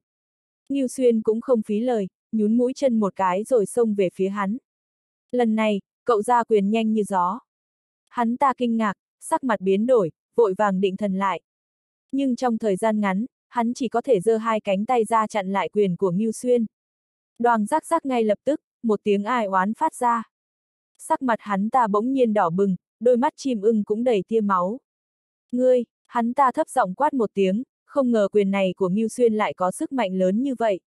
Hắn căn bản không thể nào ngăn cản nổi. Hơn nữa, lần ra đòn này trực tiếp đánh gãy hai cánh tay của hắn, hai tay như mất lực, không còn sức chống lại nữa. Ngay lập tức, toàn thân hắn như mất thăng bằng, hòa cùng nhiều cảm xúc hỗn tạp. Chỉ có điều, ngoài oán hận thể hiện trên khuôn mặt thì lúc này hắn còn có chút hoảng loạn. Sân khấu ở quảng trường Tân Thiên Địa xảy ra chuyện lớn như vậy sớm đã làm kinh động đến phía ban tổ chức. Lúc này ban tổ chức cũng lập tức điều động bảo vệ đến để hỗ trợ. Coi chừng hắn, tuyệt đối không được để hắn chạy thoát. Ngưu Xuyên tìm đến hai bảo vệ dặn dò một tiếng rồi lập tức xoay người đuổi theo hai tên khác. Còn về người này, hai tay đã bị Ngưu Xuyên đánh cho tàn phế nên gần như không có sức chiến đấu nữa. Cứ để tùy ý hai bảo vệ xử lý, chắc là có thể xem chừng hắn. Còn lúc này, ba cô gái Rocket Girl chạy về phía tòa nhà dưới sự yểm hộ của bảo vệ. Bọn họ muốn tìm một nơi an toàn trong tòa nhà, tạm thời để cho đám người xấu kia không thực hiện được âm mưu. Nhanh lên, ở bên này. Bảo vệ vừa yểm trợ ba cô vừa vội liên lạc với cục cảnh sát tại vùng đó. Còn hai tên kia vẫn không ngừng đuổi theo. Chu Dương theo sát phía sau, nhìn thấy bọn chúng từng bước bước ép ba cô, trong lòng anh căng như dây đàn. Chu Dương cũng mơ hồ đoán được kẻ đứng sau màn kịch ngoài ý muốn lần này là thế lực bên nào. Đáng ghét, nếu họ mà xảy ra chuyện gì, tôi nhất định sẽ san bằng giang ra nhà các người. Trong lòng anh thầm mắng một câu, sau đó không dám lơ là, tăng tốc chạy nhanh về phía trước. Nhóm Rocket Girl vô cùng nổi tiếng trong nước, bất cứ ai muốn gây bất lợi cho họ thì đều phải suy xét đến dư luận. Đó không phải là chuyện mà một người hoặc cả gia tộc có thể gánh vác. Cứ coi như một gia tộc lớn gánh vác thì tuyệt đối sẽ gây chấn động, dẫn đến sự chú ý của các bên. Hơn nữa, khi còn ở thành phố Đông Hải, ba cô gái Rocket Girl cũng từng bị ám sát. Lần đó, kết quả điều tra cũng chỉ làm qua loa rồi gác lại, Chu Dương không có cách nào khác. Dù sao thì hung thủ cũng đã nhận hết trách nhiệm vệ mình. Nhưng lần này, bọn họ ở trường xa và trước mắt nhóm nhạc Rocket Girl căn bản không đắc tội với ai cả. Trừ khi là vì một số người đắc tội với người khác, từ đó tự rước họa vào thân rồi liên lụy đến ba cô. Chỉ có điều, vừa động não một chút là Chu Dương ngay lập tức đã nghĩ đến Giang Gia. Hơn nữa, do sự can thiệp của Trương Gia và Chu Thiểu Hoa nên mấy ngày nay, Giang Gia vô cùng yên tĩnh, dường như trước đó chưa từng xảy ra bất cứ chuyện gì. Nhưng Chu Dương biết được, đại thiếu gia Giang Gia Giang Bắc bị tàn phế, dẫn đến việc Giang Hành Phương mất đi tư cách tranh giành vị trí chủ gia đình. Chuyện như này, Giang Gia làm sao không có phản ứng được chứ? Cút ra, bởi vì trong tòa nhà phức tạp hỗn loạn nên tốc độ đuổi của đám người xấu kia cũng giảm đi phần nào. Như vậy cũng vô tình tạo cơ hội tốt cho Chu Dương. Ngay lập tức, hai tên côn đồ đã đứng trước mặt Chu Dương, gần như với tay là bắt được. Bọn chúng quát một tiếng, Chu Dương không để ý trực tiếp bổ nhào về trước. Sau khi khống chế được, anh lại tung quyền đấm vào mặt hắn một cú đau đớn. Chu Dương vẻ mặt đầy sự tức giận, căn bản không thể kìm chế được bản thân. Vì vậy sức mạnh của nắm đấm này cũng không có giới hạn mà vô cùng mạnh mẽ. Trong lúc nhất thời, tên côn đồ không ngừng kêu gào thê thảm. Tên còn lại thấy thế cũng không quan tâm đến việc đuổi theo ba cô mà xoay người lại giúp đỡ đồng đội. Đúng lúc này, Ngưu Xuyên cũng đuổi tới. Nhìn thấy Ngưu Xuyên xuất hiện, tên côn đồ ngay lập tức suy đoán lão đại của mình đã bị bắt nên lúc này hắn cũng mất đi ý chí chiến đấu.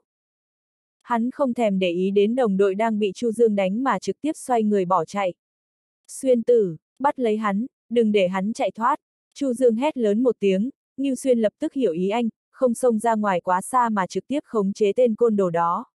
Xảy ra động tĩnh lớn khiến rất nhiều người xuống lại xem mọi người chỉ biết hôm nay nhóm Rocket Girl đến biểu diễn nhưng không biết là xảy ra chuyện gì.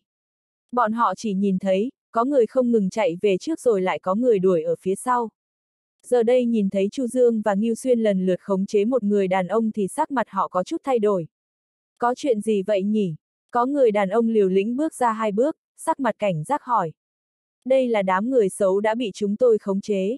Các người đừng manh động, đợi lát nữa cảnh sát sẽ đến. Chu Dương cũng không có thời gian giải thích với đám người này, tùy ý nói một câu rồi giao bọn chúng cho Ngưu Xuyên. Còn Chu Dương đi về phía mấy người Tô Hiểu Mạnh. Anh Dương, hù hù, dọa chết em rồi. Chu Dương vẫn chưa đi được mấy bước thì nhìn thấy một vóc dáng nhỏ bé trực tiếp xà vào lòng mình. 9 phần 9 11 giờ 20. chương 312. Chu Dương sắc mặt choáng váng, hai tay ngượng ngùng đặt trước người, không biết nên đặt ở đâu. Hu hu, anh Dương, suýt nữa thì em không còn được gặp anh nữa rồi. Tô Hiểu Manh xà vào lòng Chu Dương không hề để ý cứ vậy khóc thút thít.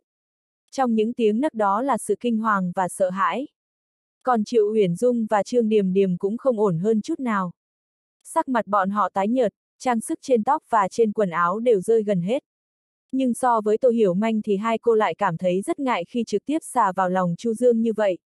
Hiện giờ cũng không có ai có thể khiến hai cô có thể xà vào lòng thoải mái. Vì vậy hai người cứ trơ mắt nhìn Tô Hiểu Manh thể hiện cảm xúc khi ôm Chu Dương. Được rồi, không sao nữa. Kẻ xấu đã bị khống chế, sẽ không có chuyện gì nữa đâu. Chu Dương cười mỉm, giơ hai tay lên rồi lại đặt nhẹ xuống, khẽ vỗ nhẹ vào lưng Tô Hiểu Manh như muốn an ủi cô. Manh manh, Uyển Dung, Điềm Điềm, các em không sao chứ? Lúc này, chị Dương người quản lý của ba cô cũng chạy đến với sắc mặt vô cùng hoảng loạn. Chu Dương quay đầu lại, nhìn thấy gương mặt chị Dương đầy vẻ hoảng loạn, còn có chút phẫn nộ.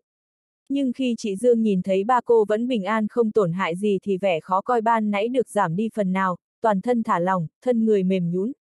Chu Dương đứng ở bên cạnh cũng lập tức phản ứng lại. Anh giơ một tay ra đỡ lấy chị Dương. Chị yên tâm đi, không sao cả rồi. Chu Dương khế giọng nói lời an ủi.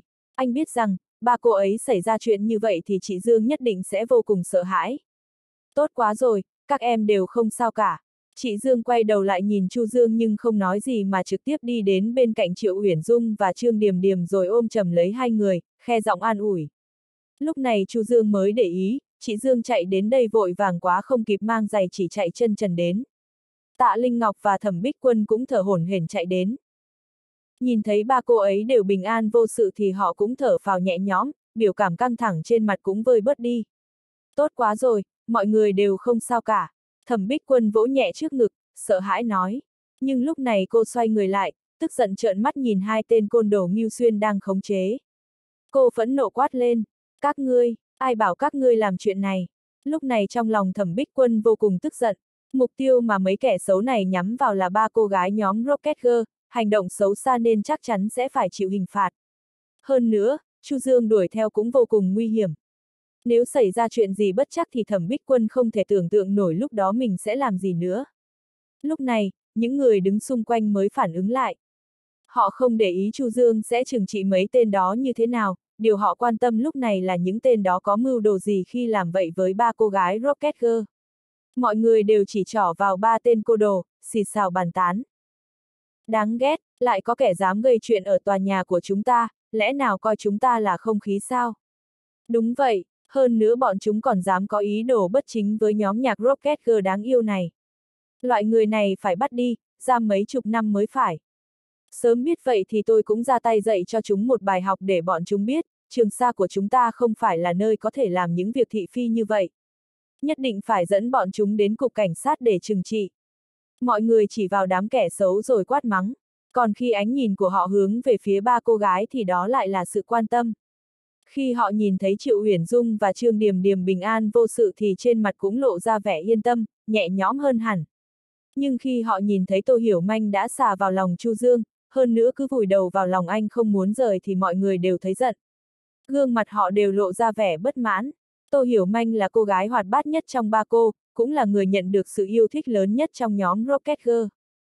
Nhưng bây giờ cô ấy lại cứ xà vào lòng một người đàn ông rồi không hề nhúc nhích. Điều này thật khó khiến người ta thương cảm.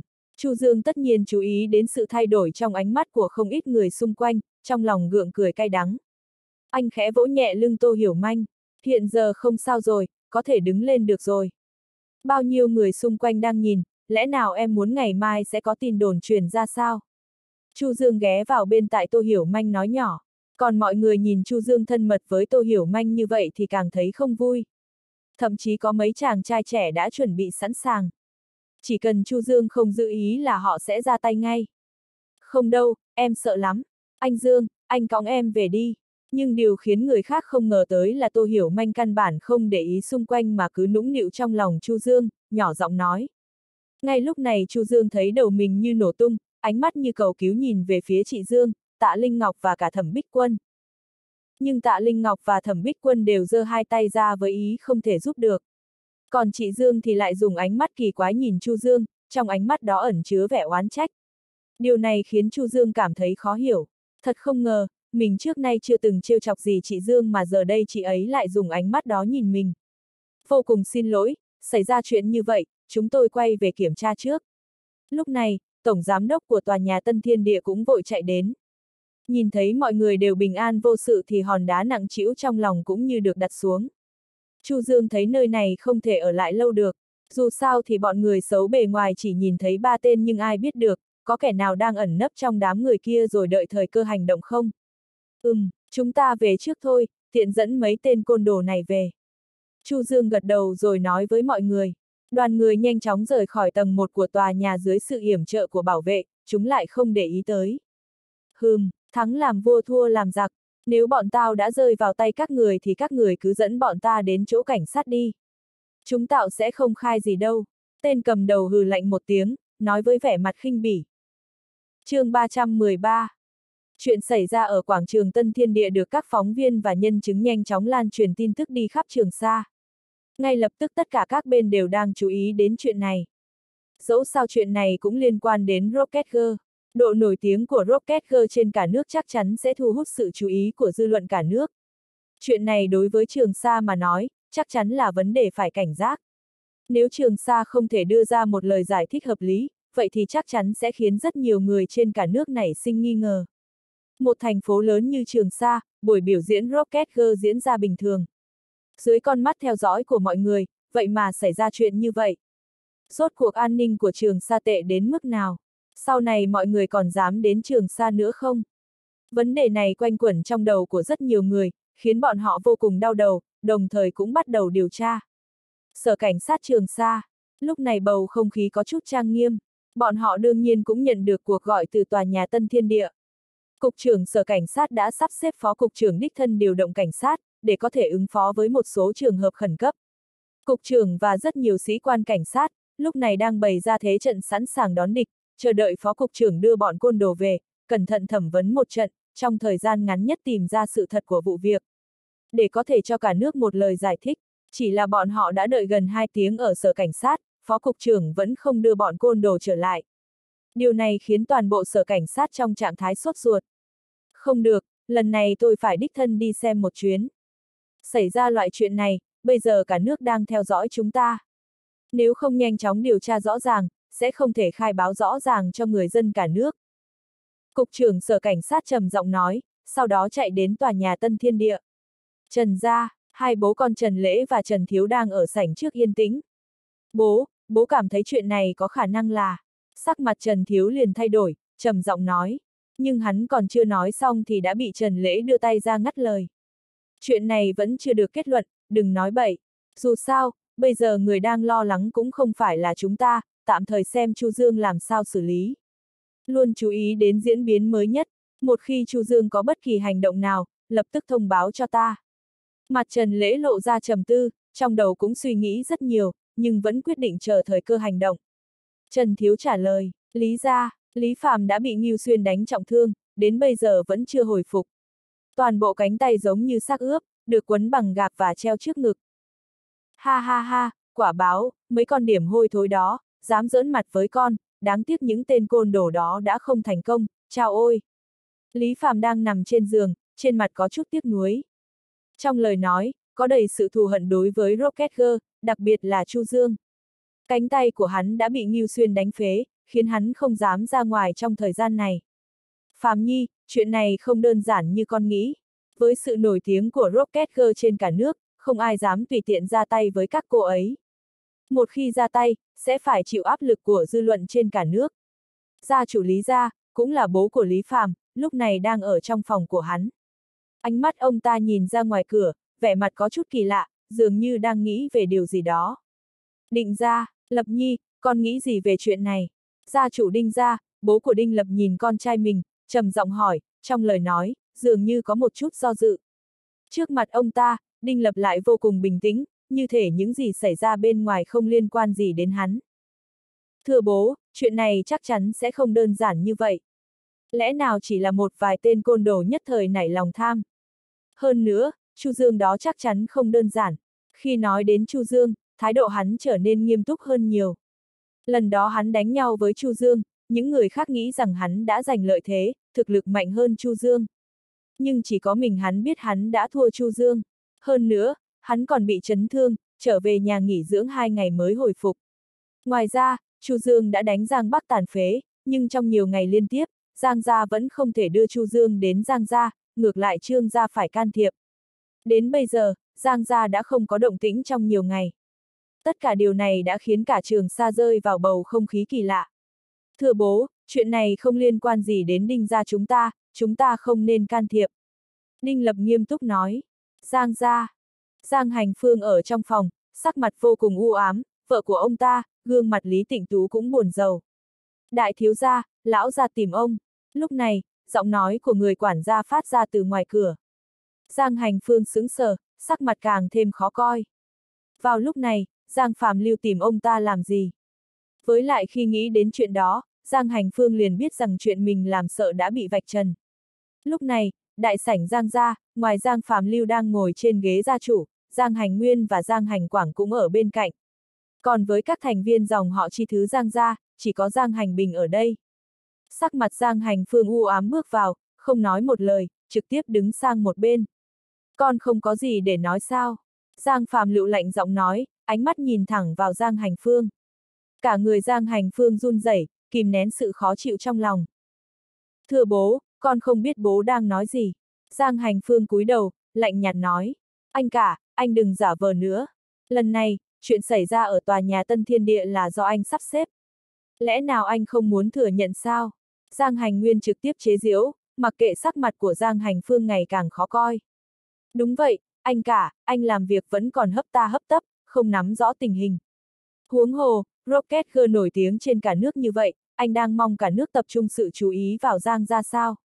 Giang Hành Quảng cũng cười khẩy. Trong nháy mắt, Giang Hành Phương hung giữ ngẩng đầu, ánh mắt đỏ ngầu, lạnh lùng nhìn hai đứa em trai của mình, răng nghiến chặt, hận không thể xé xác bọn họ ra. Trong lòng Giang Hành Phương vô cùng tức giận, con trai của ông ta, mà còn là đứa con trai duy nhất bị người ngoài đánh tàn phế. Hai đứa em trai của ông không những không giúp trừng phạt hung thủ, mà còn ném đá xuống giếng, chế nhạo hoạnh hoẹ ông ta đủ kiểu. Thậm chí, ngay cả bố ông ta, người đứng đầu Giang gia, Giang Phạm Lưu cũng làm như vậy. Điều này đồng thời khiến trong lòng Giang Hành Phương vô cùng thất vọng, cũng chất chứa một cơn giận dữ, dường như sẽ bùng phát bất cứ lúc nào. Được rồi, Phương Nhi, trước đây ta đã từng nói, chuyện này tạm thời chấm dứt, đợi chuyện của Trương gia được giải quyết, ta sẽ trả thù cho Tiểu Bắc, ai cho phép lúc này con tự mình hành động. Giang Phạm Lưu xua tay, lạnh lùng nói. Giang Hành Phương ngẩng đầu nhìn bố mình, vẻ mặt không phục. Nhưng đột nhiên, ông ta thấy Giang Hành Bình đang đứng bên cạnh bố mình. Lúc này, trên mặt của Giang Hành Bình có ý cười trên nỗi đau người khác. Trong chớp mắt, Giang Hành Phương liền hiểu ra. Giang Hành Bình ở sau lưng tố cáo tất cả những việc mà ông ta làm. Xúc sinh, có phải mày tố cáo không? Hét lớn một tiếng, sự tức giận trong lòng của Giang Hành Phương ngay tức khắc tìm thấy điểm bùng nổ, cũng không quan tâm sự hiện diện của bố mình, gầm gừ xông về phía Giang Hành Bình. chương 314 Phương vô cùng thất vọng, cũng chất chứa một cơn giận dữ, dường như sẽ bùng phát bất cứ lúc nào. Được rồi, Phương Nhi, trước đây ta đã từng nói, chuyện này tạm thời chấm dứt, đợi chuyện của Trương gia được giải quyết, ta sẽ trả thù cho Tiểu Bắc, ai cho phép lúc này con tự mình hành động. Giang Phạm Lưu xua tay, lạnh lùng nói. Giang Hành Phương ngẩng đầu nhìn bố mình, vẻ mặt không phục. Nhưng đột nhiên, ông ta thấy Giang Hành Bình đang đứng bên cạnh bố mình. Lúc này, trên mặt của Giang Hành Bình có ý cười trên nỗi đau người khác. Trong chớp mắt, Giang Hành Phương liền hiểu ra. Giang Hành Bình ở sau lưng tố cáo tất cả những việc mà ông ta làm. Xúc sinh, có phải mày tố cáo không? Hét lớn một tiếng, sự tức giận trong lòng của Giang Hành Phương ngay tức khắc tìm thấy điểm bùng nổ, cũng không quan tâm sự hiện diện của bố mình, gầm gừ xông về phía Giang Hành Bình. Giang Phạm Lưu vừa ra lệnh, mười mấy tên bảo vệ xông lên kéo Giang Hành Phương sang một bên. Khuôn mặt Giang Phạm Lưu hiện lên sự giận dữ, nhìn người con cả của mình với vẻ mặt đầy bất mãn. Ông ta không nghĩ rằng trước mặt mình mà Giang Hành Phương lại hỗn láo như thế, căn bản không coi người trụ cột gia đình như ông ra gì. Bố, bố làm vậy có thấy có lỗi với con và Tiểu Bắc không? Giang Hành Phương bị bảo vệ kéo đi, vẫn căm hận không nguôi mà gầm lên giận dữ. Lúc này khuôn mặt Giang Hành Bình sớm đã be bét máu, trên người cũng đầy vết thương. Cũng may Giang Hành Phương vốn không phải dạng thân thủ gì, nếu không chỉ sợ bây giờ ông ta càng thảm thương hơn nữa. Khiêng nó đi, xử lý vết thương trên người cho nó. Giang Phạm Lưu nhìn qua Giang Hành Bình, trong ánh mắt ánh lên một tia bất mãn và hung dữ nhưng trong chớp mắt đã biến mất. Ngay lập tức, Giang Hành Bình bị bảo vệ đưa đi. Lúc này, đại sảnh chỉ còn lại Giang Phạm Lưu, Giang Hành Nguyên và ba bố con Giang Hành Quảng. Bố, bây giờ mọi chuyện cũng đã xảy ra rồi, chúng ta phải làm gì đây? Giang Hành Nguyên vội vàng hỏi, bộ dạng như muốn hỏi ý kiến, hy vọng để lại ấn tượng tốt trong lòng Giang Phạm Lưu. Trước hết không được manh động, mấy người đó đã bị kéo đi rồi nhưng bọn họ vốn không phải do Phương Nhi trực tiếp tìm đến nên bọn họ căn bản không biết được có bóng dáng của thế lực đằng sau Giang gia, thế nên bây giờ cứ làm như không biết là được. Giang Phạm Lưu trầm tư một lát, chậm rãi nói. Ông ta cũng đã suy nghĩ rất lâu, cảm thấy như thế là tốt nhất. Trước mắt, sau lưng Chu Dương có Trương gia và Chu Thiểu Hoa nên Giang gia không thể không thận trọng đối đãi với Chu Dương. Cho nên trước khi triệt để giải quyết Trương gia, ông ta không muốn gây thêm rắc rối, khiến Chu Thiểu Hoa cũng bị kéo theo vào đó. Nhỡ xảy ra biến cố gì, đến lúc đó rất bất lợi cho bốn gia tộc lớn bọn họ. Thế nhưng bây giờ Giang Hành Phương lại tìm người hãm hại ba cô gái Rocket Girl. Cứ thế này mà đả kích Chu Dương thì rõ ràng đã đi nhầm một bước, rất dễ dẫn đến sự chú ý của Chu Dương thậm chí là trả thù. Nói như thế có nghĩa là những thứ Giang gia bọn họ đã bố trí từ trước sẽ bị nhiễu loạn. Được một mất mười, vâng ạ, Giang Hành Nguyên và Giang Hành Quảng vội vàng đáp, tại phòng VIP tầng 8 tòa nhà Tân Thiên Địa. Lúc này Phó Cục trưởng Cục Cảnh sát đã dẫn người đến bên ngoài chờ gần hơn một tiếng đồng hồ, chỉ là cánh cửa phòng VIP như chưa có ý muốn mở ra. Mà Tổng Giám đốc tòa nhà đứng bên cạnh thì liên tiếp lẩm bẩm tình hình lúc đó. Người bên trong sao thế nhỉ? Chẳng lẽ không biết chúng ta đến rồi hay sao? Mở cửa nhanh đi chứ, chúng ta còn phải bắt mấy tên du côn đưa về thẩm vấn cục trưởng có chút không nhẫn nại được nữa. Chuyện xảy ra hôm nay, thậm chí không đến một ngày sẽ lan rộng ra khắp cả nước. Dù sao thì kỹ thuật thông tin của thế giới hiện nay phát đạt đến thế, tốc độ đăng tải tin tức Internet lại rất nhanh. Thay vì phải bị động thẩm tra dưới sức ép của dư luận, chẳng thà chủ động đón lấy mọi việc, chủ động điều tra rõ ràng, đến lúc đó trực tiếp công bố kết quả điều tra còn hơn. Như thế thì không chỉ làm dịu dư luận cả nước mà còn biểu dương được tính chủ động và trách nhiệm của Cục Cảnh sát Trường Sa. Cục trưởng Tiêu, bên trong đều là khách VIP, tôi cũng không tiện làm phiền bọn họ. Với lại là bọn họ chủ động báo cảnh sát nên tôi nghĩ chắc cũng sắp ra rồi. Tổng Giám Đốc không ngừng giải thích nói. Thực tế thì bây giờ trong lòng Tổng Giám Đốc cũng rất hối hận. Vốn dĩ muốn mượn cơ hội Rocket Girl đến trường xa để mời bọn họ buổi biểu diễn trong lễ khai mạc tòa nhà Tân Thiên Địa. Thế nhưng hoàn toàn không ngờ rằng lại phát sinh sự việc như thế. Hơn nữa một khi sự việc này truyền ra ngoài, nhất định sẽ tạo ra một sự ảnh hưởng nằm ngoài dự tính đối với tiếng tăm của tòa nhà Tân Thiên Địa. Giây phút này, trong lòng Tổng Giám Đốc cũng cực kỳ căm hận người đứng sau chuyện này. Vừa ra tay đã như một mồi lửa đốt tiêu tan toàn bộ những chuẩn bị của lễ khai mạc tòa nhà Tân Thiên Gia. 3 phút, tôi cho thêm 3 phút, nếu còn không xuất hiện, tôi sẽ xông vào, thực sự là quá đáng lắm rồi. Cục trưởng tiêu lạnh lùng nói, giọng điệu rất không vui. Được được, tôi lập tức đi xác nhận lại với khách VIP. Tổng giám đốc nói xong, lập tức lui về một bên, dùng điện thoại online nội bộ tòa nhà gọi đến cho phòng VIP. Sau khi nhận được lời đảm bảo, biểu cảm trên khuôn mặt của Tổng Giám đốc cuối cùng cũng tốt lên chút ít. Hai phút sau, cửa phòng cuối cùng cũng mở ra, Chu Dương cũng đứng ở cửa phòng lãnh đạm nhìn cảnh sát trước mặt. Xảy ra chuyện gì, các người báo cảnh sát ư? Sắc mặt cục trưởng tiếu giãn ra, chỉ cần đối phương biết điều, ông cũng sẽ không làm khó đối phương. Đưa người qua đây. Chu Dương lạnh giọng nói. Ngưu Xuyên áp giải ba tên côn đồ từ trong phòng VIP ra. Khi cục trưởng tiêu và cả tổng giám đốc nhìn thấy ba tên côn đồ, sắc mặt đột nhiên căng thẳng, sau đó thậm chí sắc mặt của cục trưởng tiêu càng trở nên khó coi. Ba kẻ côn đồ trong giờ phút này đang thoi thóp thở, nhìn như nửa sống nửa chết. Nếu không biết trước bọn họ là côn đồ, đổi lấy là người khác nhìn thấy thì lại tưởng bọn họ chỉ là những người bệnh yếu ớt chứ không phải là côn đồ. Sao lại thế này? Cục trưởng tiêu nghiêm nghị hỏi. Rõ ràng ba tên côn đồ này đã chịu không ít đòn. Chỉ cần nghĩ đến mình đã đến hai tiếng đồng hồ rồi mà đối phương vẫn cứ không mở cửa, cục trưởng tiêu lại liên tưởng đến rất nhiều sự việc.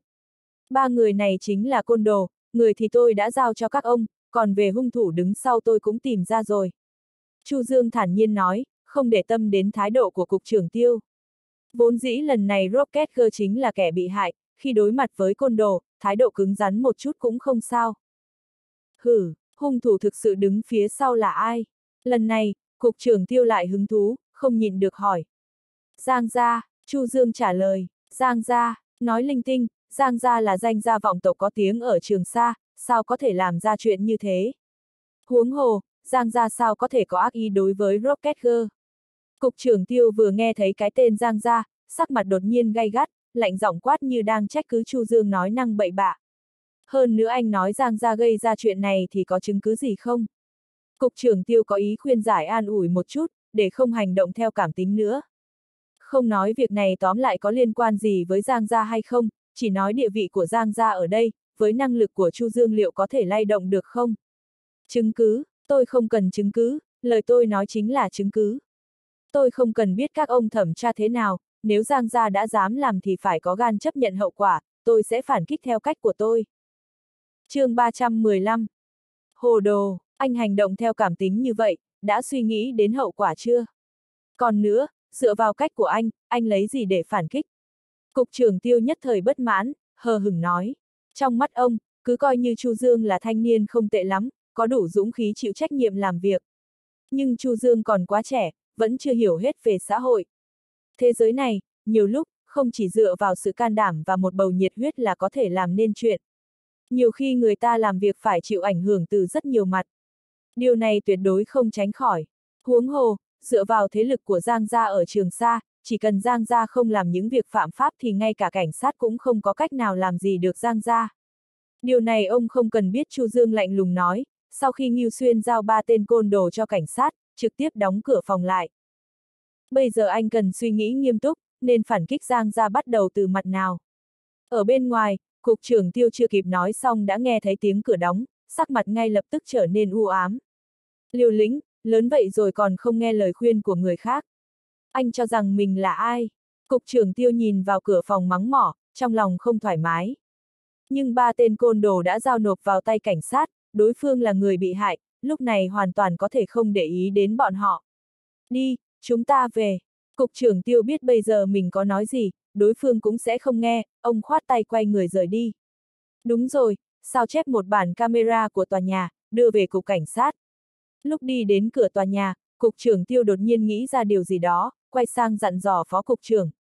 Lúc này, trong phòng VIP, Chu Dương đang trầm tư, Ngưu Xuyên ở bên cạnh yên lặng chờ đợi. Anh Dương theo em thấy, sự việc này 89 phần là Giang Gia làm, chúng ta đánh Giang Bắc tàn phế, dựa theo bản tính xưa nay của Giang Gia, căn bản không thể bỏ qua. Ngưu Xuyên điềm đạm nói, cậu ấy theo bên cạnh Chu Dương lâu như vậy, từng gặp phải không ít chuyện chuyện nên cũng học được cách suy nghĩ nhiều mặt. Vấn đề trước mắt, nói đơn giản cũng hết sức đơn giản, nói khó khăn cũng hết sức khó khăn. Yếu tố quan trọng nhất là bọn họ không có chứng cứ để chứng minh chuyện này là do Giang Gia đứng sau dở trò. Anh Dương, lần trước ở khách sạn sau khi người của Giang Gia tay không trở về, mấy ngày nay Giang Gia luôn rất yên tĩnh, không có bất kỳ hành động nào, điều này chắc chắn không bình thường. Vì vậy em nghĩ, Giang Gia đang chuẩn bị chuyện gì đó quan trọng thậm chí còn trọng hơn chuyện Giang Bắc bị phế. Hoặc bọn họ đang chờ cơ hội, đợi khi chúng ta lơ là cảnh giác, sau đó đột ngột tấn công, khiến chúng ta không kịp trở tay. Ngưu Xuyên nói xong, tự tin gật đầu, cảm thấy mình phân tích chuẩn xác, cậu liếc nhìn Chu Dương, muốn nghe suy nghĩ của anh.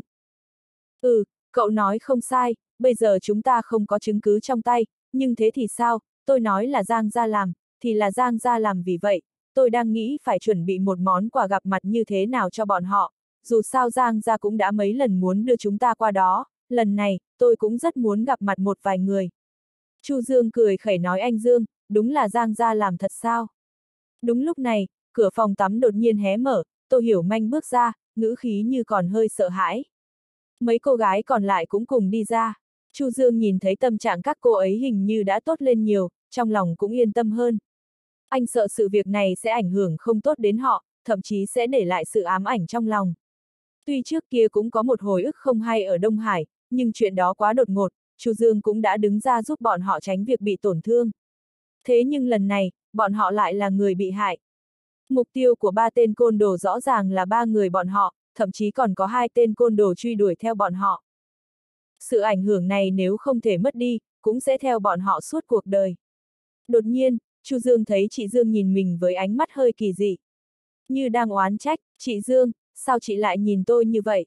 Chu Dương không nhìn được, liền hỏi. Tuy anh và chị Dương không thân thiết lắm, nhưng vì có mối quan hệ với ba cô gái kia nên cũng được coi là tạm ổn. Chu Dương lại không nhớ bản thân từng đắc tội gì với chị Dương lẽ nào bản thân cậu không biết sao? Chị Dương hỏi lại, giọng điệu không thiện cảm lắm.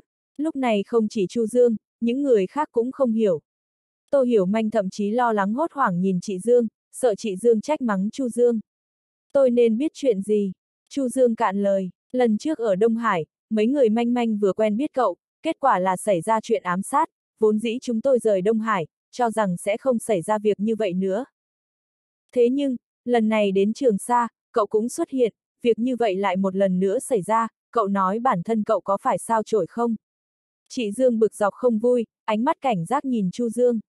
Nghe đến đây, mọi người bỗng nhiên dở khóc dở cười. Bọn họ không ngờ rằng chị Dương sẽ nói những lời này. Nhưng suy nghĩ cẩn thận lại, hình như cũng có lý. Nhất là ba bọn họ nhớ lại bản thân trong cuộc sống hay lúc biểu diễn trước giờ chưa bao giờ xảy ra chuyện như vậy. Thế nhưng sau khi quen biết Chu Dương, liên tục xảy ra chuyện, thậm chí mỗi lần đều có mặt Chu Dương. Một lúc sau, ánh mắt ba cô gái nhìn Chu Dương có một chút thay đổi. Triệu uyển Dung và Trương Điềm Điềm không nói gì, nhưng từ từ lùi bước, trên mặt hiện lên tia cảnh giác. Nhìn tình cảnh này, Chu Dương nhất thời dở khóc dở cười, chỉ cảm thấy hai thiếu nữ này quá đỗi đáng yêu. Lời nói như vậy, bọn họ cũng tin.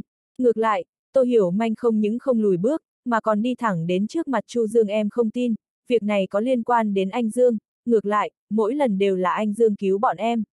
Tô Hiểu Manh khẳng định chắc chắn, chớp đôi mắt to tròn, nhìn chằm chằm vào Chu Dương. Ha ha, ngoan quá, Chu Dương cười lớn, đưa tay sờ vào đầu Tô Hiểu Manh, trong lòng cảm thấy ấm áp. Được rồi, xảy ra sự việc lần này, chúng ta ở lại trường xa cực kỳ không an toàn, tốt nhất chúng ta về công ty, cho dù thế lực giang ra lớn thế nào, cũng sẽ không làm gì được chúng ta. Hơn nữa, tiếp theo, trường xa thậm chỉ cả tỉnh Tương Tây cũng sẽ không yên bình vì vậy chúng ta cần chuẩn bị tốt. Chu Dương cười nói, cũng nhắc nhở mọi người, nếu lúc này Giang Gia xảy ra chuyện như vậy, không tránh khỏi việc Giang Gia sẽ làm ra những chuyện khác nữa, huống hồ còn có khả năng tạo ra uy hiếp lớn đối với sự an toàn của mọi người. Mà Chu Dương cũng không thể đảm bảo được bản thân và Ngưu Xuyên lúc nào cũng ở bên cạnh họ vì thế cách tốt nhất là bọn họ cùng trở về. Còn mọi người, hãy nhanh chóng chuẩn bị một chút, khi về Đông Hải, ổn định lại công việc ở công ty, sau đó có thể suy nghĩ việc tiến vào thị trường tỉnh Tương Tây, lần này tôi sẽ tặng cho Giang ra một món quà gặp mặt thật lớn. chương 316 Ba cô gái nhóm Rocket Girl quay trở về công ty Yến Kinh. Tạ Linh Ngọc, Thẩm Bích Quân và Trần Hân cũng cùng lúc quay trở về Đông Hải. Khi bọn họ rời đi, phía Giang gia cũng không xuất hiện cản trở nào, hoặc có thể nói là không tìm thủ đoạn gây khó dễ. Lúc này, ở trường Sa, chỉ có Chu Dương và Ngưu Xuyên. Mấy ngày nay, Chu Dương và Ngưu Xuyên một mực ở khách sạn Song Long, không hề đi ra ngoài, lặng lẽ liên lạc với các bên. Mà lúc này, chuyện nhóm Rocket Girl ở Tân Thiên Địa gặp bọn côn đồ, đã nhanh chóng bị lan truyền khắp cả nước. Dù Trường Sa đã cố gắng dùng truyền thông để trấn an mọi người, đồng thời cho phép báo đài đưa tin chuyện này, nhưng cũng không thể ngăn cản được mức độ lan truyền nhanh chóng của nó. Hơn nữa, không thể ngờ được rằng, chỉ trong vài ngày, câu chuyện đã xuất hiện trên tiêu đề của mọi trang báo trong nước. Liên tiếp mấy ngày nay, độ hot không hề thuyên giảm. Bây giờ, sự chú ý của fan hâm mộ cả nước của nhóm Rocket Girl đều đổ dồn về Trường Sa. Đồng thời, áp lực đè lên cục cảnh sát Trường Sa cũng là rất lớn. Ba tên côn đồ đã bị bắt lại, nhưng cũng chỉ thẩm vấn được mấy thông tin không có chút hữu ích nào. Thậm chí, ba tên côn đồ không hề có ý định hợp tác. Tình huống như thế này, cục cảnh sát đành phải kéo dài thời gian xử lý vụ án. 10 ngày, tôi cho các cậu 10 ngày. Bất kể thế nào, các cậu bằng mọi giá phải cậy mồm ba tên khốn kia để moi được những thông tin có giá trị cho tôi. Cục trưởng tiêu ra lệnh cho tất cả cảnh sát trong cuộc họp. Thế là mọi người ở cục cảnh sát trường xa ai cũng trở nên vô cùng gấp gáp. Lúc này, Giang Gia có vài vị khách âm thầm xuất hiện. Đại sảnh nhà Giang Gia, là cả một phòng họp lớn ở bên trong căn nhà. Thông thường, khi phải đưa ra những quyết định rất hệ trọng, người nhà Giang Gia sẽ họp trong căn phòng này. Thậm chí, khi Giang Bắc bị phế chuất, người nhà Giang Gia cũng không họp bàn chuyện này trong đại sảnh. Vậy mà bây giờ, Giang Gia lại đưa ra thông báo, yêu cầu những người quan trọng trong Giang Gia về tề tụ để họp bàn. Có chuyện gì vậy, sao lại đột nhiên phải họp trong căn phòng này? Không biết nữa, chắc là xảy ra chuyện gì lớn lắm. Không biết, mọi người xem, có vẻ cả ba thiếu gia đều không biết chuyện gì. Tôi có nghe được một tin đồn như thế này. Gì cơ, là gì thế, mau nói đi. Nghe nói lần này, tam đại gia tộc khác ở tỉnh Tương Tây cũng đến Giang gia chúng ta, thế nên gia chủ mới yêu cầu chúng ta đến tập trung ở phòng họp, có vẻ sẽ liên quan đến ba gia tộc đó. Vừa nghe đến tam đại gia tộc, mọi người lập tức tập trung hơn. Ngay cả ba anh em Giang Hành Phương, Giang Hành Nguyên, Giang Hành Quảng cũng lắng tai nghe, cũng muốn thăm dò một chút, liệu tin đồn này rốt cuộc là gì. Dẫu sao, là thiếu gia nhà Giang gia, nhưng bọn họ cũng không biết lần này Giang Phạm Lưu yêu cầu mọi người tề tụ lại là vì chuyện gì. Giờ lại có một thành viên trong dòng họ biết đến tin đồn này, khiến cho ba vị thiếu gia nhà họ Giang cảm thấy vô cùng khó chịu. Không lâu sau, Giang Phạm Lưu chậm rãi đi vào đại sảnh. Mọi người đều nhìn thấy đi đằng sau Giang Phạm Lưu là ba người đàn ông trung niên khác. Nhìn thấy ba người đàn ông đó, biểu cảm trên khuôn mặt tất cả mọi người ai cũng có chút thay đổi.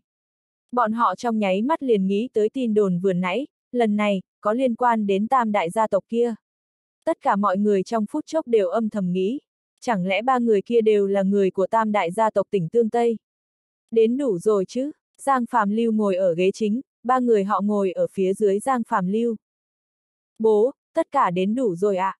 Giang Hành Nguyên dõng dạc trả lời. Nếu đã đến đông đủ, thì bây giờ có chút chuyện này, mọi người cũng nên biết. Giang Phạm Lưu trầm giọng nói, ánh mắt nhìn về phía ba người đàn ông. Mọi người tự giới thiệu một chút về mình đi, để thành viên Giang ra chúng tôi biết mọi người là ai. Giang Phạm Lưu vừa nói xong, mọi người lập tức chuyển sang tập trung nhìn về phía ba người đàn ông trung niên. Ánh mắt bọn họ dính chặt không rời như thể trên người của ba người đàn ông này có thứ ma lực gì đó vô cùng hấp dẫn. Tôi là Dư Hoa, đến từ Dư Gia ở Tương Nam. Người đàn ông trung niên đứng đầu nhìn thấy ánh mắt của mọi người, trầm giọng nói, ngữ khí vô cùng tự tin và tự hào. Nghe thấy vậy, người nhà Giang Gia đồng loạt cứng người vì kinh ngạc. Dư Gia ở Tương Nam, Dư Gia ở tỉnh Tương Nam mà khiến cho Giang Phạm lưu đối đãi đặc biệt như vậy, ở cả cái tỉnh Tương Tây này chỉ có duy nhất một gia tộc. Đó là Dư Gia, gia tộc thủ lĩnh trong ngũ đại gia ở tỉnh Tương Nam. Thế lực của Dư Gia, là đứng đầu trong ngũ đại gia tộc. Thực lực tổng hợp lại là mạnh nhất, sản nghiệp phủ rộng khắp Tương Tây, thậm chí danh tiếng cũng lừng lẫy toàn quốc. Lúc này ánh mắt mọi người nhìn Dư Hoa cũng trở nên vô cùng kính nể. Đây là điều mà một đại gia tộc như vậy xứng đáng có được. So với Dư Gia, Giang Gia không thua kém nhiều, cũng được liệt trong danh sách ngũ đại gia tộc, thậm chí thế lực ở trường Sa cũng rất mạnh, nhưng nếu so trong cả tỉnh Tương Tây, thì danh tiếng không nổi trội bằng Dư Gia. Điều quan trọng nhất là, nghe nói, Dư Gia thế hệ này, xuất hiện Dư Gia Tam Kiệt. Dư Gia Tam Kiệt, người khác coi bọn họ bệ vệ oai phong như rồng như phượng, ở bất kỳ lĩnh vực nào cũng thuần thục tới độ có thể thay đổi chóng mặt, năng lực vô cùng xuất chúng, danh tiếng hết sức lẫy lừng. Mà Dư Hoa, là một trong ba Dư Gia Tam Kiệt. Thế nên ngay tức khắc, mọi người nhìn hai người còn lại với ánh mắt vô cùng trông đợi. Nếu Dư Hoa một trong ba Tam Kiệt Dư Gia đến Giang Gia, vậy thì thân phận của hai người còn lại nhất định cũng không hề tầm thường, có thể còn là hai người thuộc hai đại gia tộc còn lại. Lúc này, người đàn ông đứng giữa chậm rãi nói, tôi là Đỗ Văn, đến từ Đỗ Gia. Trời, tất cả mọi người đều khẽ dùng mình, quả đúng như dự đoán, đây là một đại gia tộc khác, Đỗ Gia. Hơn nữa, danh tiếng của Đỗ Gia, người nhà Giang Gia đều nghe nói tới không ít lần. Đặc biệt, ngành công nghiệp mỹ phẩm do Đỗ Văn quản lý không chỉ đứng hạng nhất trong tất cả sản nghiệp của Đỗ Gia, khi kết hợp Giang Gia, nó chiếm đến một phần hai tổng sản lượng ngành mỹ phẩm ở tỉnh Tương Tây. Tôi là Đường Văn Trung, đến từ Đường Gia. Người đàn ông cuối cùng giờ mới chậm rãi cất tiếng. Lúc này mọi người đều đã có chút nhẹ nhõm trong lòng. Việc trước mắt là Dư Hoa và Đỗ Văn đã khiến bọn họ chấn động, thế nên sự xuất hiện của Đường Văn Trung làm bọn họ cũng bớt căng thẳng phần nào. Đường Gia tuy cũng là một trong ngũ đại gia tộc, nhưng thực lực lại yếu nhất. Danh tiếng của Đường Văn Trung cũng chỉ lác đác vài người nghe qua. So sánh với Dư Hoa và Đỗ Văn, danh tiếng của Đường Văn Trung nhỏ hơn rất nhiều. Nhưng dù như vậy, trước mặt mọi người trong giang gia, ông cũng thể hiện rõ mình không phải là loại người dễ bị coi thường. Mọi người đều nghe thấy rồi, ba vị này, là người đến từ Dư Gia, Đỗ Gia và Đường Gia. Bọn họ đều là những người ưu tú thuộc thế hệ thứ hai của mỗi gia tộc. Giang Phạm Lưu dừng lại một chút, nhìn toàn bộ mọi người trong Giang Gia, đặc biệt là nhìn ba người con trai của mình. Nhìn thấy sự kinh ngạc chấn động hiện rõ trên khuôn mặt cả ba người họ, trong lòng Giang Phạm Lưu có chút không vui. Ông biết Giang gia từ sau đời mình, nhân tài gần như không có. Vậy nên mới tìm trăm phương ngàn kế liên minh với Dư gia, Đỗ gia, Đường gia, cùng nhau thâu tóm Trương gia, để lại cho Giang gia một khoản tài sản cách xù. Nếu như con trai ông không thể so sánh được với một trong tam kiệt bên Dư gia Dư Hoa, nhưng có thể coi là ngang sức ngang tài với Đỗ Văn, như vậy là đủ làm Giang Phạm Lưu thỏa mãn rồi. Mọi người đều biết, đầu năm trước, chúng ta đã chuẩn bị để sẵn sàng tuyên chiến với Trương gia.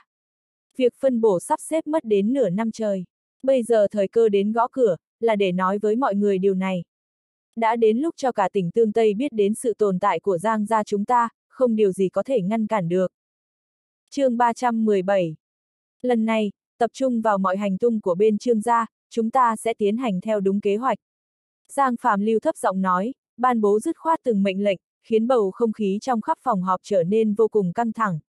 Mặc dù lần này, Dư gia, Đỗ gia, Giang gia và Đường gia, tứ đại gia tộc cùng nhau hợp sức bao vây Trương gia. Thế nhưng Trương gia suy cho cùng cũng là một trong ngũ đại gia tộc, hơn nữa thực lực còn mạnh hơn cả Đỗ gia. Nên nếu không có một kế hoạch chi tiết tỉ mỉ, bọn họ sẽ rất dễ thất bại. Kể cả coi như đã có một kế hoạch chi tiết tỉ mỉ, nhưng nếu trong quá trình tiến hành lại có chút sai sót, bị trương gia phát giác ra được, hoặc là phản kháng lại, thì cũng gây ra tổn thất vô cùng nghiêm trọng cho bọn họ. Vì nếu trương gia phản kháng, chắc chắn sẽ là dùng toàn lực ứng phó, e rằng kể cả có là tứ đại gia tộc đi nữa, cũng phải sẽ chịu sự chống trả mạnh mẽ, dẫn đến những tổn thất nặng nề. Nguyên Nhi, lần này, con cùng với Đỗ Văn cùng nhau phối hợp để gây uy hiếp lên ngành mỹ phẩm của trương gia tại tương Tây này. Bước đi này, coi như là bắn phát súng đầu tiên vào trương gia. Giang Phạm Lưu vô cùng nghiêm túc, ánh mắt kỳ vọng nhìn về phía Giang Hành Nguyên. Ông ta hy vọng con trai mình thông qua lần hợp tác này với Đỗ Văn sẽ tiến bộ rõ rệt, thể hiện được phong thái tự tin. Giang Hành Nguyên nghe được yêu cầu từ bố, trong lòng có chút vui mừng, nhưng nét mặt vẫn vô cùng khiêm tốn. Vâng, bố, con nhất định sẽ hoàn thành tốt sử mệnh này. Sau này, còn phải nhờ Đỗ Huynh chiếu cố nhiều. Giang Hành Nguyên đưa ra lời đảm bảo chắc như đinh đóng cột, sau đó bình tĩnh quay sang nhìn Đỗ Văn, khuôn mặt có chút thiện ý nở một nụ cười lấy lòng. Được, chỉ cần anh không gây vướng chân, đúng theo kế hoạch của tôi mà làm, chắc chắn là sẽ không có vấn đề gì Đỗ Văn hoàn toàn lạnh lùng, không hề nở lấy một nụ cười trước sự thiện trí của Giang Hành Nguyên, chỉ lãnh đạm trả lời một tiếng. Thấy vậy, Giang Hành Nguyên trong lòng cũng thấy khó chịu, chướng mắt trước sự cao ngạo của Đỗ Văn. Quảng Nhi, ngành truyền thông của Trương gia ở Tương Tây có ảnh hưởng rất lớn, con sẽ hợp tác với Đường Văn Trung, để cùng làm sụp đổ ngành truyền thông của Trương gia. Giang Phạm Lưu như thể không nhìn thấy thái độ của Đỗ Văn, tiếp tục đưa ra chỉ thị. Vâng, bố, con nhất định sẽ hoàn thành nhiệm vụ. Giang Hành Quảng dõng dạc đảm bảo, nếu so sánh mối quan hệ giữa Giang Hành Nguyên và Đỗ Văn, Giang Hành Quảng hiển nhiên là cũng không có mấy nhiệt tình với đường Văn Trung, nên cũng không bày tỏ chút thiện ý lấy lòng. Suy cho cùng, đường gia vẫn yếu thế hơn Giang gia, hơn nữa, trong ngành truyền thông ở tương Tây. Sức ảnh hưởng của đường gia cũng không bằng Giang gia, chỉ là trên nhiều phương diện khác, đường gia vẫn còn có ích cho Giang gia. Lúc này, ánh mắt của Giang Phạm Lưu phút chốc dừng lại trên người con trai cả Giang Hành Phương, thế nhưng rất nhanh ông lại lắc đầu quay đi. Ông vốn cũng định phân cho Giang Hành Phương một nhiệm vụ quan trọng. Nhưng Giang Hành Phương đang nóng lòng muốn báo thù, lúc trước cũng đã làm chút chuyện gây rối với nhóm Rocket Girl, mà bây giờ dư luận cả nước đều đang tập trung vào trường sa. Vì thế, để tránh gây ra bất kỳ sơ hở nào làm cho kế hoạch này thất bại, Giang Phạm Lưu không thể giao nhiệm vụ cho danh hành phương. Những người khác, hãy làm tốt nhiệm vụ của mình, toàn lực hỗ trợ Giang Nguyên và Giang Quảng. Giang Phạm Lưu trầm giọng nói, tứ đại gia tộc liên mình với nhau, bày binh bố trận gần năm trời, mới có thể chuẩn bị tốt để nhanh chóng giải quyết được trương gia. Vì thế, bất kể thời khắc nào cũng phải hết sức cẩn thận, không thể lơ là. Mọi người về nhà trước, liên lạc với dư gia gia chủ, đỗ gia gia chủ và đường gia gia chủ. Mười ngày sau, chúng ta sẽ bắt đầu hành động. Giang Phạm Lưu nhìn Dư Hoa, Đỗ Văn và Đường Văn Trung, nói một tiếng để mọi người trong Giang gia tản đi, duy chỉ có Giang Hành Nguyên và Giang Hành Quảng ở lại. Giang gia chủ, nghe nói lúc trước có một người đắc tội với Giang gia, thế nhưng mọi người lại không làm gì cả, không biết liệu rốt cuộc đó là ai mà lại khiến mọi người thận trọng như vậy. Đến khi mọi người đi hết, Dư Hoa mới nhìn Giang Phạm Lưu đặt câu hỏi. Mặc dù nói Giang gia ở trường sa thế lực vô cùng mạnh, thế nhưng với những đại gia tộc khác, ở trường sa này không phải là không có tại mắt nghe ngóng. Bọn họ biết trước đây Giang gia có xảy ra chuyện gì đó. Chỉ là nội tình cụ thể thì bọn họ không biết là gì, thế nên hiện tại nhân tiện có cơ hội gặp mặt, cũng muốn hỏi cho tường tận vấn đề. Suy cho cùng, chỉ cần vô tình có chút rắc rối cũng có thể ảnh hưởng đến việc thực hiện kế hoạch. Hơn nữa đối phương cũng là người có thế lực mạnh, đối với tứ đại gia tộc mà nói, đó chắc chắn sẽ là một thông tin bất lợi. Không chỉ vậy, có thể khiến cho Giang gia án binh bất động, tuyệt nhiên không phải người bình thường. Dư Hoa đương nhiên muốn biết rõ mọi chuyện, vì anh phụ trách cả Dư gia. Cả Đỗ Văn và Đường Văn Trung cũng cùng lúc gật đầu đồng ý, quay sang nhìn Giang Phạm Lưu với cùng một mục đích. Bây giờ tất cả mọi người đều trở thành đồng minh, không có gì giấu giếm nhau sẽ là cách hợp tác tốt nhất. Cũng không phải chuyện gì, chỉ là cậu ta và một thằng nhóc bên trương gia là bạn học. Khi chúng tôi chuẩn bị ra tay với cậu ta, thì thằng nhóc bên trương gia xuất hiện. Để tránh rút dây động rừng nên chúng tôi mới tạm thời cho qua. Giang Phạm Lưu hơi nhíu mày, thế nhưng rất nhanh đã điềm tĩnh trả lời. Ông ta không hề nói thật, nhưng chuyện này đúng là không có liên quan mật thiết gì cả. Bây giờ thời gian triển khai kế hoạch cũng đã bắt đầu đếm ngược, ông ta không muốn gây ra bất kỳ lo lắng hay căng thẳng nào. Huống chi, Chu Thiều Hoa có thể có thể lực ở Trường Sa, nhưng ở những chỗ khác trên tỉnh Tương Tây thì không có chút thế lực nào. Chỉ vậy thôi à, Dư Hoa có chút hoài nghi, nhưng Giang Phạm Lưu đã giải thích như vậy, thì cũng đành tạm thời tin tưởng. Tốt rồi, bây giờ đã bắt đầu chạy kế hoạch, giờ chúng sẽ về chuẩn bị kỹ càng, nhất định phải hạ được trương gia. Dư Hoa ngừng một chút, sau đó dõng dạc nói. Lần này, tứ đại gia tộc bọn họ liên minh với nhau, khí thế ngút ngàn, một mình trương gia sao mà chống đỡ được. Dư Hoa cũng nhận được tin báo, rằng trương gia cũng mơ hồ cảnh giác được mọi chuyện, giờ cũng đang chuẩn bị đối phó. Thế nhưng Dư Hoa thấy dù trương gia có chuẩn bị thế nào, cũng sẽ vô dụng cả. Khi tứ đại gia tộc công khai hợp tác, mọi sự đối phó chống lại đều là vô nghĩa. Cùng lúc đó, Thẩm Bích Quân và Tạ Linh Ngọc ở mãi bên Đông Hải xa xôi, cũng đang tích cực chuẩn bị. Khoảng thời gian này, Chu Dương và bọn họ giữ chặt liên lạc, yêu cầu họ gửi cho anh tài liệu về dự án nghiên cứu mỹ phẩm làm trắng chống lão hóa của và kế hoạch xây nhà máy mới của công ty Danh Dương.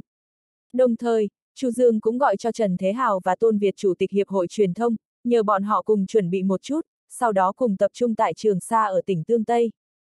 Lúc này, không chỉ người dân Trường Sa, mà toàn bộ người dân ở Tương Tây cũng cảm thấy mọi chuyện có gì đó không đúng. Không ít người phát hiện, mấy sản phẩm mỹ phẩm mình thường dùng giờ rất khó tìm, nếu như tìm được, thì khi ở quầy thanh toán, dù có lục tung lên cũng không thấy đâu nữa. Hơn nữa, nhiều người lên mạng xem tin tức, phát hiện rất nhiều liên kết sẽ tự động nhảy sang một trang khác. Lúc này, Trương Kiệt gọi điện thoại cho Chu Dương. Chu Dương, tình huống bây giờ không ổn rồi, đối phương có thể đã hành động. Giọng điệu Trương Kiệt vô cùng nóng vội, ngành mỹ phẩm và truyền thông của nhà Trương gia trước mắt có thể sẽ phải đối diện với nhiều áp lực khác nhau. Mà hai ngành này, là hai sản nghiệp quan trọng nhất của Trương gia ở Tương Tây, chiếm gần một nửa quy mô của toàn bộ ngành công nghiệp ở tỉnh Tương Tây. chương 318 Nhận được cuộc gọi của Trương Kiệt, Chu Dương nhất thời vô cùng căng thẳng, khẩn trương. Anh không hề nghĩ tới, tứ đại gia tộc này lại nhanh chóng hành động như vậy. Vốn dĩ anh cho rằng, đối phương sẽ chuẩn bị trong vòng 10 ngày nữa. Vì với một chuyện hệ trọng như này, khi chưa nắm chắc được cái gì, thì tốt nhất là không nên tự ý hành động. Tình hình sao rồi, vẫn còn kiểm soát được chứ? Chu Dương hạ thấp giọng hỏi. Nếu đối phương đã bắt đầu hành động, thì sắp tới đây sẽ có nhiều dấu hiệu hơn nữa. Không tốt lắm, đối phương lần này tập trung nguồn lực, mục tiêu nhắm thẳng vào ngành mỹ phẩm và ngành truyền thông của trương gia chúng ta. Trương Kiệt lạnh lùng đáp, giọng điệu tức giận. Chu Dương qua điện thoại cũng cơ hồ cảm nhận được sự phẫn nộ của Trương Kiệt. Vậy Trương gia nhà cậu chẳng lẽ không có ý định gì sao? Định ngồi im chờ chết à? Chu Dương hỏi ngược lại. Lần này, anh giúp đỡ Trương gia là thật lòng, nhưng đến bây giờ anh cũng chưa gặp gia chủ nhà Trương gia lần nào, cũng như những người khác trong Trương gia.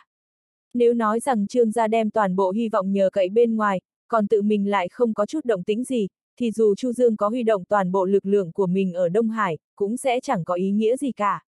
Có một số chuyện cậu không biết được, bây giờ trương gia nhà chúng tôi nội bộ chia thành hai luồng ý kiến, hoàn toàn đối lập nhau, không ai thuyết phục được ai. Trương Kiệt nhỏ giọng đáp lại, đối với chuyện này cậu ấy cũng rất bất mãn, nhưng lại không làm được gì. Dẫu sao, người có thể làm chủ được ở trương gia, chỉ có gia chủ trương Thái Viêm, hoặc là đời hai trong gia tộc, còn những người đời ba như Trương Kiệt thì không có nhiều quyền lên tiếng. Vậy ư Chu Dương dù vẫn rất lạnh lùng, nhưng anh không biết đến chuyện này, cũng không ngờ lúc này nội bộ nhà Trương Kiệt đang có vấn đề. Nếu lần này đối phương thật sự trực tiếp tấn công, nhà Trương Kiệt lại chưa thống nhất được ý kiến, thì làm sao mà đối phó được. Trương Kiệt, tôi muốn gặp Trương Lão gia, cậu giúp tôi sắp xếp một chút. Chu Dương trầm giọng nói. Lúc này, với tư cách là lực lượng bên ngoài, Chu Dương nhất định phải bàn bạc với Trương Thái Viêm để thống nhất ý kiến. Nếu không, anh không chỉ không giúp được gì cả, mà còn không công quay về, thậm chí là bị cuốn sâu vào vòng xoáy này. Được, tôi sẽ sắp xếp giúp cậu, đúng lúc bạn bè của cậu cũng ở đây. Giờ cũng có chút chuyện, hay là đợi cậu tới nhà, rồi mọi người sẽ cùng cậu bàn bạc Trương Kiệt bất đắc dĩ nói. Chu Dương lúc này trong lòng hơi phật ý. Theo những lời Trương Kiệt vừa nói, thì khi đến Tương Tây, là sẽ đến gặp người nhà Trương gia, như vậy đúng là có chút gì không phù hợp. Cúp điện thoại xong, Chu Dương cũng suy nghĩ một chút. Trước mắt tứ đại gia tộc chắc hẳn đã bắt đầu chuẩn bị.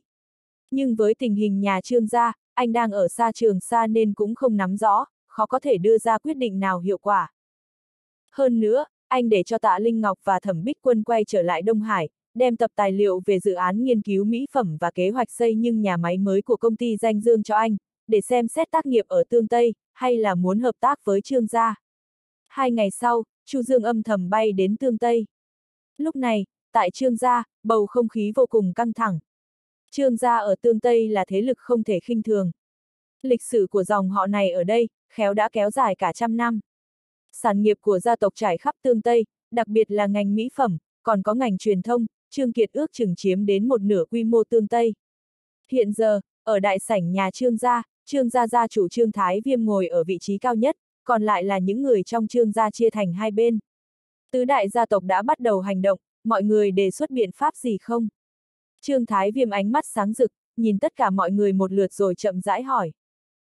Mặc dù trong lòng có một chút dự tính, thế nhưng Trương Thái Viêm muốn xem xem năng lực quan sát và độ nhạy cảm của con cháu nhà Trương gia như nào. Bổ, tứ đại gia tộc kia không thể uy hiếp được Trương gia chúng ta. Lúc này, con trai lớn của Trương Thái Viêm, thiếu gia đời hai của Trương gia, Trương Luân đứng dậy nói. Ánh mắt ông ta đảo khắp phòng, khuôn mặt tràn đầy sự tự tin. Trương gia chúng ta ở đất tương Tây này đã cả trăm năm, thực lực đứng thứ hai trong ngũ đại gia tộc, trừ dư gia, mấy gia tộc tam đại kia, căn bản không xứng làm đối thủ của trương gia. Huống chi, lần này, tứ đại gia tộc kia liên minh, nhưng ai có thể đảm bảo giữa bọn họ không xảy ra sơ suất, dẫn tới lục đục, mâu thuẫn nội bộ. Cho nên con thấy chúng ta không cần hoảng hốt, chỉ cần án binh bất động, đợi đối thủ xảy ra tranh chấp nội bộ. Đến lúc đó, chúng ta trực tiếp tấn công, dùng thể lực nhanh như vũ bão phá tan liên minh của đối phương. Trương Luân nói xong, đắc ý nhìn mọi người, đặc biệt là tập trung vào người em trai của mình. Cả đại sảnh lớn rất yên tĩnh không một tiếng động, mọi người lẳng lặng trầm tư, suy xét lý lẽ của Trương Luân. Có vài người khuôn mặt hào hứng, nhìn thấy sự tự tin của Trương Luân, cảm thấy vô cùng vui vẻ. Bọn họ là những người ủng hộ trung thành với Trương gia, hy vọng Trương Luân trong tương lai có thể lên chức gia chủ. Bọn họ hiểu rõ ý đồ của Trương Luân, hơn nữa cũng thấy lập luận có căn cứ và thuyết phục, nên tự nhiên cũng thấy rất an tâm. Nhưng không ít người trao mày lại, bọn họ cho rằng suy nghĩ của Trương Luân là không phù hợp. Bố, con không đồng ý với ý kiến của anh trai. Lúc này, Trương gia đời hai, đồng thời cũng là bố của Trương Kiệt, Trương Anh trầm giọng nói, khuôn mặt cực kỳ nghiêm túc. Gì cơ, chủ không đồng ý với ý kiến của anh ư? Chẳng lẽ chú có ý kiến gì khác sao? Trương Luân trong lòng cười khẩy, nhưng ngoài mặt vẫn giả bộ hỏi nhỏ, như thế rất quan tâm đến ý kiến của em trai mình. Bố, anh cả, mọi người, chúng ta cần biết rằng, dù trương gia chúng ta ở đất tương Tây này đã cả trăm năm, thế nhưng mười mấy năm trở lại đây, thế giới tiến bộ không ngừng, đỗ gia, giang gia, đường gia đều phát triển thuận lợi, trở thành đại gia tộc không thể xem nhẹ ở tương Tây dừng một chút, Trương Anh nói tiếp. Hơn nữa, chúng ta không nên quên, lần này, không phải chỉ là một gia tộc đối đầu trương gia, mà là tứ đại gia tộc liên minh lại. Dù thế lực của chúng ta có mạnh đến đâu, liệu chắc có đủ để chống chịu lại tứ đại gia tộc này không? Trương Anh nói xong, mọi người lại rơi vào trầm tu. Lời của Trương Anh nói không sai, còn cảnh báo cho mọi người. Thế nhưng rất nhanh sau, không ít người thần sắc đã chấn tĩnh lại. Dù gì thì Trương gia cũng là một đại gia tộc, thực lực ở tương Tây đứng vị trí thứ hai. Tất cả những người ngồi ở đây, từ khi sinh ra đến giờ, đã được hưởng thụ cuộc sống giàu sang phú quý mà Trương gia đem lại, thế nên tâm lý hiển nhiên không quan tâm đến những mối đe dọa bên ngoài. Chú hai có ý gì vậy? Chẳng lẽ ý chú là, Trương gia chúng ta sẽ bị tử đại gia tộc kia đánh bại? Lúc nãy lời chủ nói là ý như thế nào vậy? Trương Luân cười khẩy rồi trách móc Trương Anh. Em không hề có ý như vậy, chỉ là em đang muốn cảnh tỉnh mọi người. Bây giờ tứ đại gia tộc đã bắt đầu hành động, nếu như chúng ta không kịp thời ứng phó, hậu quả sẽ khó mà tưởng tượng. Trương Anh dùng lý nói lại, ứng phó, chẳng lẽ dựa vào những người ngoài không rõ lai lịch mà mấy người tìm đến đó sao? chương 319 Trương Luân vung tay, giọng điệu khinh bỉ nói, vẻ mặt châm biếm và bất mãn. Thời gian trước, con trai của Trương Anh là Trương Kiệt từ bên ngoài dẫn về không ít người, nói muốn giúp đỡ Trương gia. Điều này khiến cả Trương gia đều vô cùng kinh ngạc, thậm chí có rất nhiều người còn chế giễu là Trương Kiệt đang làm loạn. Bởi vì, với thực lực và địa vị của Trương gia thì ai dám ra tay với Trương gia chứ? Với lại, Trương gia đâu cần người khác đến giúp do. Nhưng Trương Kiệt lại cố chấp, để những người này ở lại trương gia, hơn nữa còn cung cấp đồ ăn đồ uống ngon cho họ. Điều này khiến không ít người trương gia thấy bất mãn, đặc biệt là Trương Luân. Ông ta cảm thấy người cháu này của mình đúng là đang muốn gây chú ý. Cậu ấy đang muốn thể hiện trước mặt Trương Thái Viêm, như vậy cũng phần nào giúp bố cậu ấy giành được vị trí chủ gia tộc. Chú hai à, anh biết, Trương Kiệt có lòng tốt nhưng nó không thử nghĩ xem. Trước tiên chưa nói đến việc có kẻ nào dám động đến Trương gia chúng ta hay không, mà cứ coi như là có thì nó tìm đến những người này, lẽ nào sẽ có cách cứu được Trương gia sao? Trương Luân nói xong rồi nhìn mọi người một cái với vẻ mặt thản nhiên, đúng vậy. Nếu như trương gia của chúng ta thật sự đến mức đó thì những người kia có thể giúp được gì? Hơn nữa, chúng ta căn bản không hiểu hết về lai lịch của những người kia, làm sao mà có thể tin tưởng họ.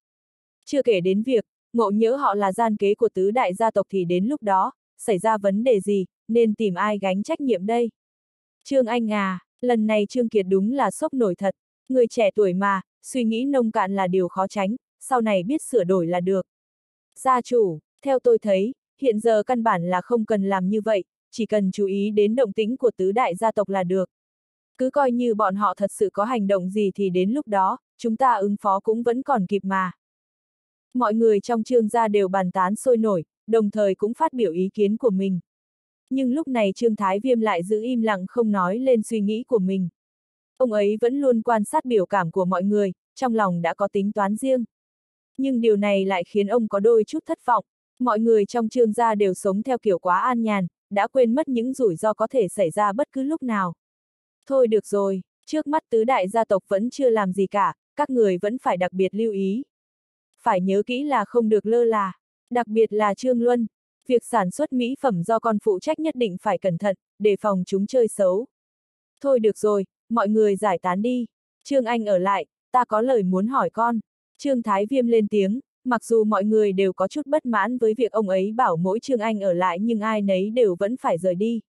Chỉ có điều, sau khi Trương Luân rời đi thì nhìn chằm chằm vào Trương Anh, trong ánh mắt như toát lên vẻ nham hiểm. Đợi khi mọi người khuất tầm mắt, Trương Thái Viêm mới vẫy tay với Trương Anh. Anh Nhi, Trương Kiệt có nói với con về lai lịch cụ thể của những người kia không?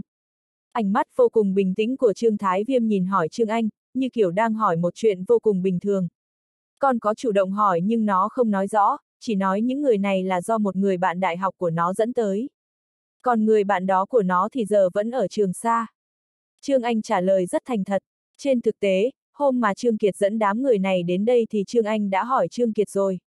Nhưng, bất luận ông ấy có hỏi thế nào thì Trương Kiệt cũng không nói rõ lai lịch cụ thể của những người này. Ngược lại, Trương Kiệt chỉ nói qua loa, những người này là do một người bạn đại học của cậu ấy dẫn đến, muốn đến giúp Trương gia. Khi nghe thấy những lời này của Trương Anh, Trương Thái Viêm ánh mắt sáng ngời, trong đầu lập tức nghĩ đến một người. Trước đây ông ấy có gọi điện thoại với Trần Lễ chủ gia tộc Trần Gia, hình như là do người bạn đại học của Trương Kiệt sắp xếp. Hơn nữa, lúc đó cũng đúng lúc Trương Kiệt đi trường xa. Liệu có phải là người đó không nhỉ? Trương Thái Viêm có chút không chắc chắn nhưng trong lòng cũng tin vài phần. Chỉ có điều, ông ấy vẫn có chút hoài nghi.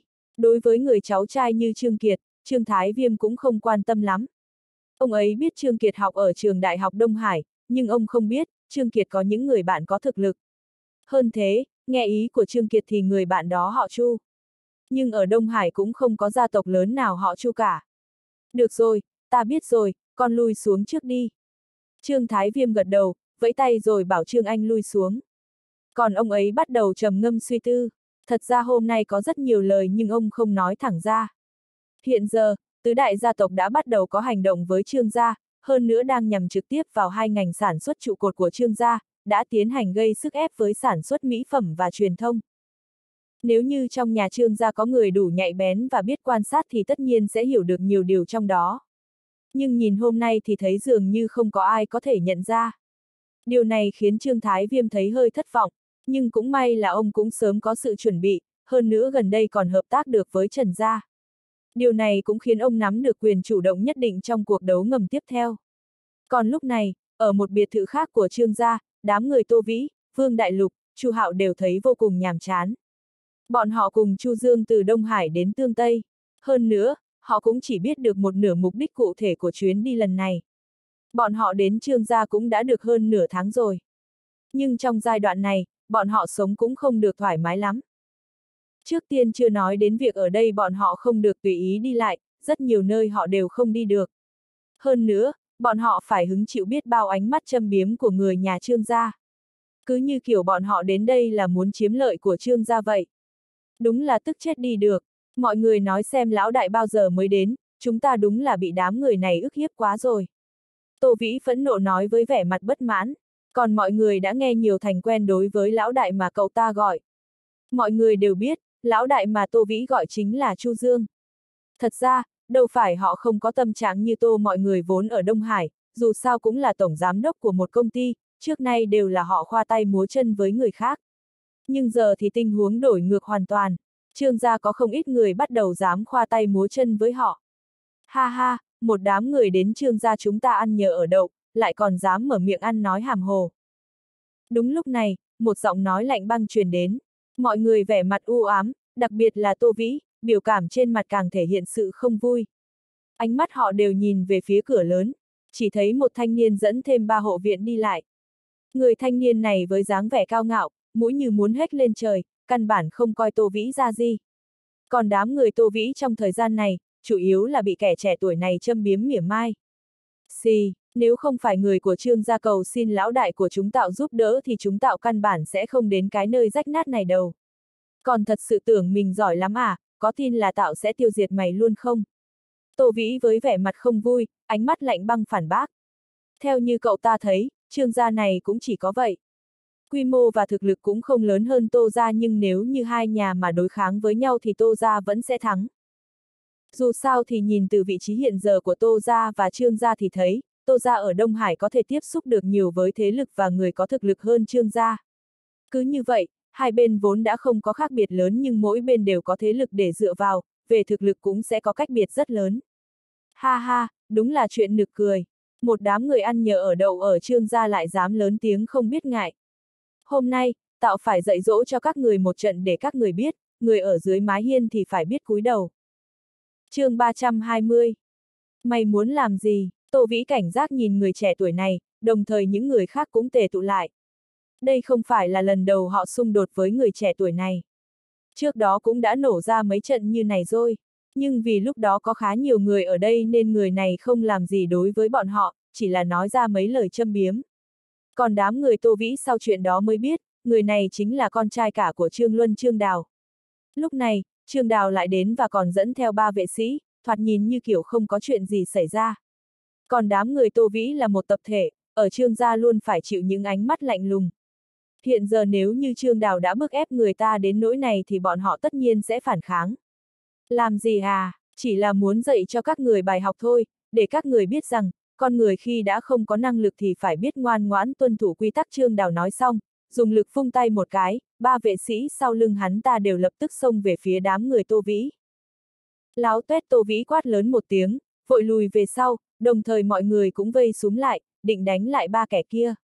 Chỉ có điều, sức lực trong tay Tô Vĩ cũng chỉ là làm ra vẻ vậy thôi, chứ bản thân cậu ta cố gắng lắm mới có thể ứng phó được với một tên vệ sĩ, hơn nữa còn là va chạm đối kháng nên khá là khó khăn. Còn những người khác thì cậu ta càng không để ý rén. Nhưng những người khác thì lại không vậy, như đám người vương đại lục, Chu Hạo đều là người bình thường, căn bản không biết gì về võ thuật.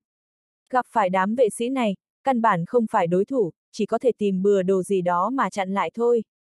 Ha ha, ban nãy chẳng phải là kiêu ngạo lắm sao? Sao giờ lại thành ra như này? Nếu tao mà là bọn mày thì tao không còn mặt mũi nào mà ở lại trương gia như vậy đâu. Trương Đào ở bên cạnh cười nhếch mép nói. Nhìn thấy bộ dạng của đám người Tô Vĩ lúc này, trong lòng hắn ta thấy vô cùng sảng khoái. Những người này là Trương Kiệt đưa đến, đều muốn thể hiện trước mặt Trương Thái Viêm, thể hiện ra sự tồn tại của mình. Điều này khiến Trương Đào rất không thoải mái. Luận về tuổi tác thì Trương Đào là anh của Trương Kiệt. Luận về địa vị thì cha của Trương Đào Trương Luân là con cả của Trương Thái Viêm. Số người ủng hộ ông ta trong Trương gia cũng nhiều hơn Trương Anh, vì thế mà địa vị tất nhiên cũng sẽ cao hơn một chút. Nhưng lúc này, Trương Đào lại hung hãng muốn dạy dỗ đám người này để Trương Kiệt biết, ở trước mặt Trương Đào, Trương Kiệt không thể làm nên trò chống gì. Tô Vĩ không chống đỡ nổi nên đã bị một tên vệ sĩ bức ép. Bản thân Tô Vĩ cũng phải nhận mấy đấm nhưng ba tên vệ sĩ này cũng biết mấy người này là của Trương Kiệt. Họ ra tay làm việc cho Trương Đào nhưng vẫn dơ cao đánh khế chứ không thật sự ra tay mạnh. Mặc dù vậy nhưng đám người Tô Vĩ vẫn thấy trên người đau ê ẩm. Tô Vĩ vì đỡ lại nên trên mặt cũng bị một đấm, hiện giờ đang tím bầm lại. Thoạt nhìn thì bộ dạng của cậu ta vô cùng buồn cười. Dừng tay đúng lúc này, một tiếng quát vang lên. Trương Kiệt vội chạy đến, nhìn thấy cảnh tượng trước mắt mà thấy bực tức, thoáng chốc quay đầu lại nhìn ông anh của mình. Anh đang làm cái gì vậy? Trương Kiệt không kìm nổi mà quát một tiếng. Mặc dù Trương Đào là anh của cậu ấy nhưng trong lòng cậu luôn coi thường người anh họ này. Chỉ vì Trương Đào từ nhỏ đã ỉ lại vào thế lực của Trương gia mà làm không biết bao nhiêu chuyện xấu xa ở bên ngoài. Nhưng mỗi lần đều có cha của hắn ta là Trương Luân thay hắn ta lấp liếm mọi chuyện nên mấy năm nay hắn đều bình an vô sự. Nhưng hiện giờ, Trương Đào năm lần bảy lượt gây phiền phức cho đám người Tô Vĩ. Mấy lần trước chỉ là nói mấy lời cửa miệng, như vậy vẫn có thể chịu đựng được. Nhưng lần này thì Trương Đào lại dám dẫn vệ sĩ đi cùng rồi ra tay với đám người Tô Vĩ. Điều này hoàn toàn vượt quá giới hạn chịu đựng của Trương Kiệt. Ha ha, có làm gì đâu, chỉ là đám người mà mày dẫn về không hiểu quy tắc lắm nên tạo dạy cho họ một số quy tắc thôi. Trương Đào không hề bận tâm cũng không để ý đến việc Trương Kiệt đang rất tức giận. Chưa nói đến việc Trương Kiệt không thể làm gì hắn ta mà khi có Trương Luân là bố hắn ta ở đây thì coi như là sự tồn tại của thái tử gia của Trương gia. Mày muốn dạy ai quy tắc? Đúng lúc này, một giọng nói lạnh băng truyền lại. Đám người Tô Vĩ nghe thấy giọng nói này thì lập tức vui mừng, trên mặt đều lộ ra vẻ kích động. Còn Trương Kiệt thì với vẻ mặt áy náy vô cùng. Trương Đào thì hết sức giận dữ, bởi ở Trương gia, không có ai lại dám nói vậy với hắn ta. Kẻ nào vậy, kẻ nào lại dám nói năng với tao như vậy, đúng là láo toét. Trương Đào phẫn nộ xoay người lại thì nhìn thấy hai người trẻ tuổi đang đi về hướng mình, lập tức quát lón. Mày mới là láo toét nghiêu xuyên quát lớn một tiếng, cũng không biết đã xảy ra chuyện gì, dường như một bước là đã đến trước mặt Trương Đào, vung tay một cái là một cái tát. Bốp ngay lúc này, tiếng tát mạnh vang lên trong trang viên, còn mặt Trương Đào lúc này cũng in lên một dấu bàn tay đỏ ửng. Cả trang viên ngay lập tức yên tĩnh lạ thường. Đám người Tô Vĩ với vẻ mặt kích động, chỉ thấy những bực tức kìm nén trong thời gian này, ngay lúc này như được xả hết ra. Còn ba tên vệ sĩ kia thì nhanh chóng xông lại bảo vệ phía sau Trương Đào, vẻ mặt u ám nhìn Chu Dương và Ngưu Xuyên. Chu Dương, xin lỗi cậu, mình không chăm sóc tốt được cho những người bạn của cậu.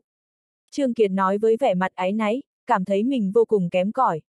Chu Dương vì cậu ấy nên mới dẫn người đến Tương Tây, với ý muốn giúp Trương gia. Nhưng Trương Kiệt lại không bảo vệ được những người này, khiến họ chịu ủy khuất ở Trương gia, hiện giờ lại còn bị vệ sĩ vây đánh. Chu Dương giơ tay ra với ý là Trương Kiệt không phải nói gì cả. Trước tiên là anh nhìn đám người Tô Vĩ, phát hiện ra họ không bị thương gì nhiều nên trong lòng thấy nhẹ nhõm hơn hẳn. Sau đó, anh nhìn về phía Trương Đào, ánh mắt lạnh băng. À à, mày dám đánh tao à, người đâu, giết chúng cho tao, tao phải giết bọn chúng. Trương Đào bị tát một cái, nhất thời đưa người ra. Đợi sau khi phản ứng lại thì hắn ta giống lên một tiếng, sắc mặt hung tợn quát ba tên vệ sĩ bên cạnh. Ánh mắt của hắn ta tràn đầy sự phẫn nộ và sát khí, hận nỗi không thể băm Chu Dương và Ngưu Xuyên thành trăm mảnh. Vẫn không chịu khuất phục à? Chu Dương thản nhiên nói, trực tiếp giơ tay ra, tự mình tát Trương Đào một cái giòn vang. Lần này quá đột ngột, Trương Đào không kịp phản ứng lại, còn ba tên vệ sĩ kia cũng không kịp phản ứng. Đợi đến khi họ có phản ứng thì mặt Trương Đào đã hằn thêm một dấu tay nữa. Nếu không phục thì anh có thể gọi người đến. Chu Dương lạnh lùng, nói. a a a chúng mày vẫn ngây người ra đó làm gì, còn không mau lên đi, đánh tàn phế nó cho tao. Tạo sẽ khiến nó muốn chết cũng không được. Trong lòng Trương Đào kinh hãi, lúc này thúc giục ba tên vệ sĩ lên xử lý đám người Chu Dương. Từ nhỏ đến lớn, hai mươi mấy năm rồi, hắn ta chưa từng bị ức hiếp như này. Trước giờ hắn ta luôn được Trương Luân bảo vệ, chỉ có hắn đánh người khác chứ không có ai dám ra tay với hắn. Nhưng hôm nay, mới ban nãy thôi, hắn ta đã bị người ta tát cho hai cái. Điều này khiến trong lòng Trương Đào thấy vừa kinh ngạc vừa sợ hãi. Hai kẻ này rốt cuộc có lai lịch gì mà sao chúng dám ra tay với mình. Lúc này trong lòng Trương Đào có đến tận hai suy nghĩ. Còn ba tên vệ sĩ kia thì liều mạng xông về trước mặt Chu Dương và Ngưu Xuyên, thầm nghĩ, phía mình có tận ba người, còn đối phương chỉ có hai người. Ba đấu hai, chắc là không có vấn đề gì. Vì thế mà bọn chúng quát lớn một tiếng rồi lập tức vung quyền lại. Chỉ có điều, khiến người ta kinh ngạc là Ngưu Xuyên chỉ ra ba quyền ba tên vệ sĩ kia đã nằm sấp trên đất, ôm bụng không ngừng kêu gào, khuôn mặt nhăn nhó. Chu Dương không thèm nhìn ba tên vệ sĩ này mà trực tiếp đi về phía Trương Đào. Mày muốn làm gì? Đây là trương gia, nếu mày dám làm loạn thì trương gia nhất định sẽ không tha cho chúng mày đâu. Lúc này, trương đào thật sự cảm thấy sợ hãi. Hắn ta không ngờ tới rằng, ba tên vệ sĩ kia đều không phải là đối thủ của đối phương. Thậm chí, chúng còn không phải là đối thủ của một người bên đối phương. Audio điện tử võ tấn bền. Hết tập 21